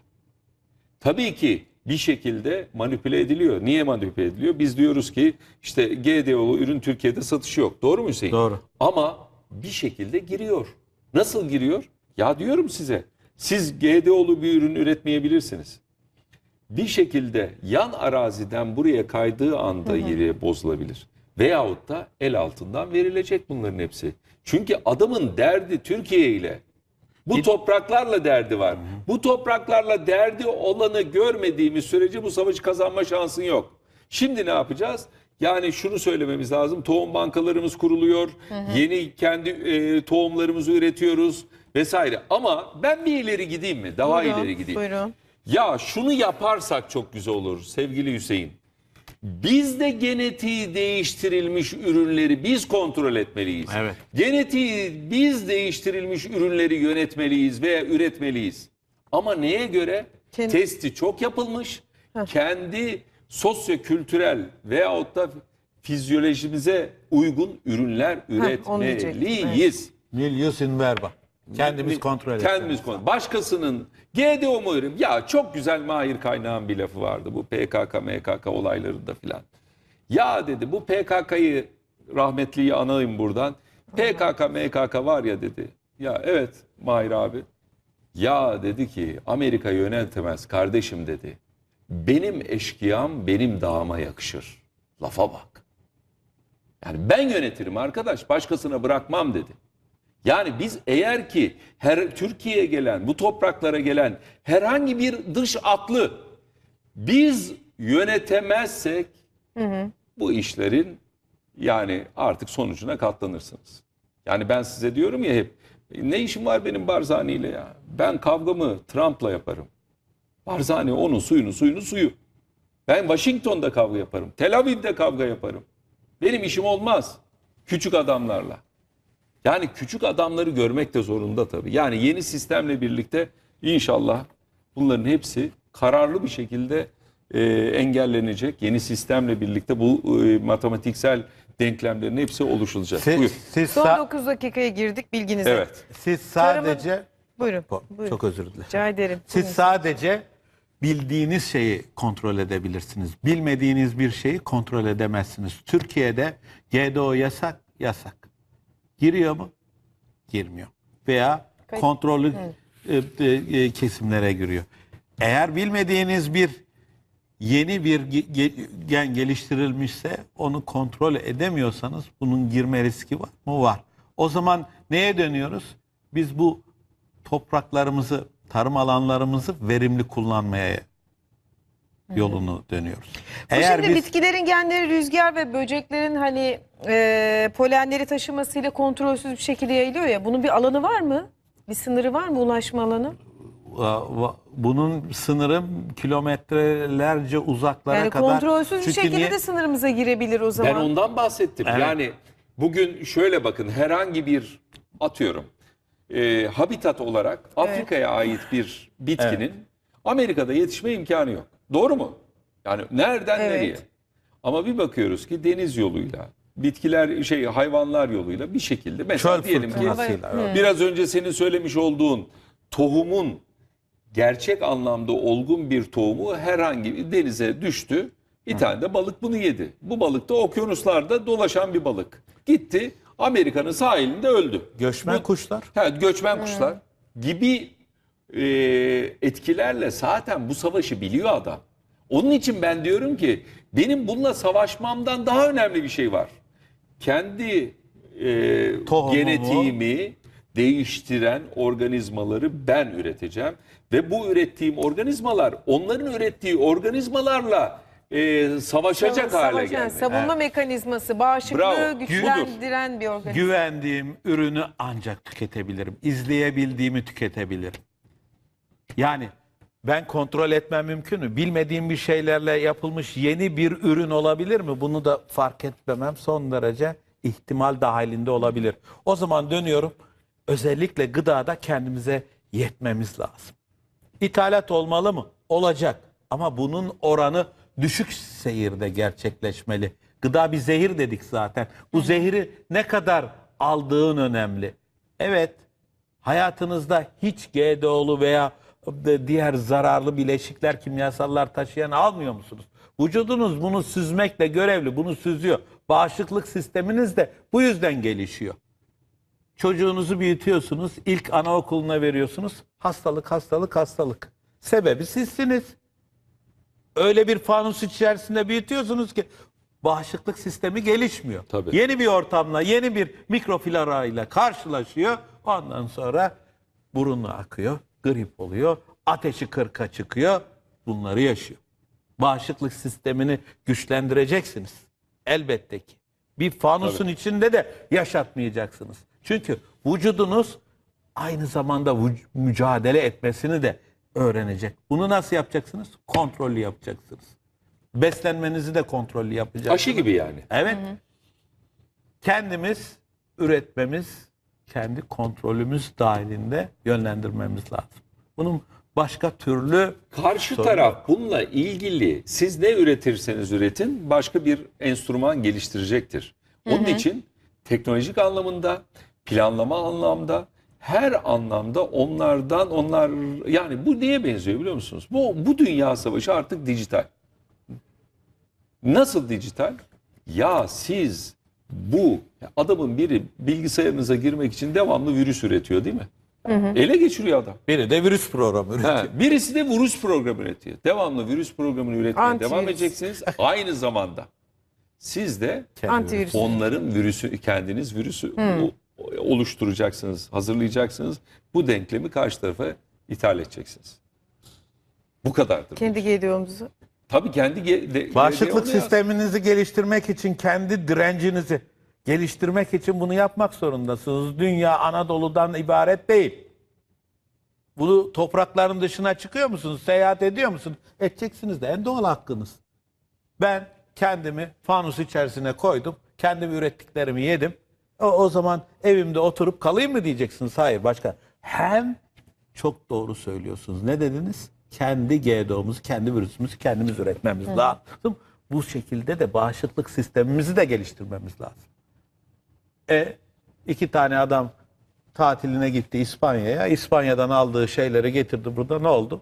Eğer bağışıklık sisteminiz vücudunuzdaki yapıyı buna göre eğitmişseniz süzgecinden geçirirseniz bunun etkileri Yani bu- yayılmaz. Ee, hani en büyük sistemlerden bir tanesi iki tane korkumuz var. Bir tarımla ilgili, ikincisi de hastalık. Evet. Yani yani diğerleri hani bizim eski okul, old school dediğimiz kavramlar, nükleer silahlar, bombalamalar var. Bunları Çünkü şunu biliyoruz. anlamıyor. Önce hastalığı e, sebebini ortaya atıyorlar. Virüsünü Tabii. ortaya atıyorlar, yayıyorlar. Ondan sonra da işte az önce İlacı söylediğimiz gibi ilacı. Bu, bu- Benim söylemek istediğim şöyle. Yani bundan kaçınma şansımız çok az. Örnek. Ya dünyada işte şu anda dünyanın en büyük havalimanını yapıyoruz. Maşallah. Doğru mu? Evet. Çok büyük. Peki bunu yaptınız kaç insan e, e, burada trafik yapacak? Bu insanlar bir tanesi başkasının üretmiş olduğu virüsü Türkiye'ye taşıyabilir mi? Büyük savaş değil mi? Ya bombaya gerek yok ki ya. Evet. Bir tane virüs. Uçağın birine binsin X yerden. Amerika'dan, Çin'den, Zart'tan, Zurt'tan. Buraya kadar gelsin Türkiye'ye kadar. Güven, anda güvenlik görevlisine hapşursun, hapşırsın, o da bitti. ailesine o da götürsün. ailesine götürsün. Bak savaş bunun üzerine kurulu. Veyahut da hani bu mikropla ilgili salgın yapıp bir işte toplumu, kavimi e, yok edebilirsiniz. Yani e, 29 e, şeyini düşünün. İspanyol gribi. evet. Vebay. Veba y- yani nereden baksanız üçte biri Avrupa'nın yok oldu. Yani dolayısıyla bundan sonraki savaşlar gıda ve e, virüs üzerine olacak. Yani hani şeyi beklemeyin böyle e, lokal savaşlar bunu yaşayacağız. İşte nedir? İşte Armagedon süreci içinde e, emin olun ki bu planlanmış olduğu için Onunla ilgili hafta içinde paylaşımlarınız oldu bu arada. İsrail'le e, kavga ettirecekler Müslümanları ve Albert Pike amcanın dediği gibi 3. Dünya Savaşı'nda din- dinleri yok etmeye çalışıyorlar. Bunu görüp engelleme şansınız olabilir. Çünkü e, bir şekilde onun da en, en- işte S-400'leri alıyorsunuz. Adam vıyaklıyor orada, ciyaklıyor diyor ki olmaz. Patriot satmayan insanlar şu anda bize Patriot satmaya çalışıyorlar. Yok şunlara filan bakmayın işte E, Amerika'da işte meclis, e, senatoda tutmuş 6 tane adam yazı yazmış filan. Bunlar hep olacaktır. Bunlar Türkiye büyük bir ülkedir. Bu, bu- böyle hani cılız laflar ve söylentiler hep olacaktır. Ermeni konusu öyle, e, işte İsrail konusu öyle veyahut da Türkiye'nin almış olduğu bütün savaş mekanizmalarıyla ilgili öyle. Ya Bu arada- zaten e, yakın zamanda programlarda bunlara da değineceğiz inşallah. Duyurmuş olalım. Son bir dakikamıza girdik. Ee, sizin e, Bu e, sözünüzü bir şey kesmek istemedim. söyleyeceksen sonra ben ekleyeyim. Ama bir şey. dakikamız var. Çok hızlı Çok rica hızlı. edeyim. Ee, Şimdi Hüseyin Hocam kontrol, çünkü kontrol, kontrol, kontrol. Ne yaptığımızı bileceğiz. Ne yediğimizi bileceğiz. Bizim üzerimize oynanan en büyük oyunlar yediğimizden geçtiğini bileceğiz. E, Ben de diyorum ki- oynanmasına izin vermeyeceğiz Ben- dediniz. Karşı Bakın herkes eleştiri yapıyor ama Projelerde. eleştiri yapmayın. Çözümünü üretmediysen eleştiri yapma. Evet. Bu kadar net. Peki. Çok teşekkür ediyoruz. Ee, teşekkür Gıda ederiz. mühendisi Hüseyin Altıparmak ilk kez ağırladık sizi. İzleyicilerimizle neden daha önce tanıştırmadınız Hüseyin Hocam'la demişler Yavaş size. yavaş açıldı. Yavaş yavaş, evet. açıldı. Çok teşekkür Ben- ediyoruz katıldığınız için. Onun derinliğini biliyorum. İnşallah başka programlarda daha da yararlanacağız senden. Ekranlara İnşallah. alışacağız herhalde o zaman. Çok teşekkürler Erten Özit. Değerli izleyiciler sizlere de katılımınız için teşekkür ediyoruz. Bu arada kitap armağan edeceğimiz izleyicilerimiz İrfan Güven, Hikmet Yılmaz, Fatma D, Turgut Hatipoğlu, Fatih Mehmet Genç. Ee, DM kanalınız açık olsun. Bazen ulaşılamıyor çünkü kapalı oluyor. Lütfen bu konuya dikkat ediniz. Çok teşekkür ediyoruz katılım gösterdiğiniz için değerli kayıt dışı izleyicileri. Haftaya görüşmek üzere.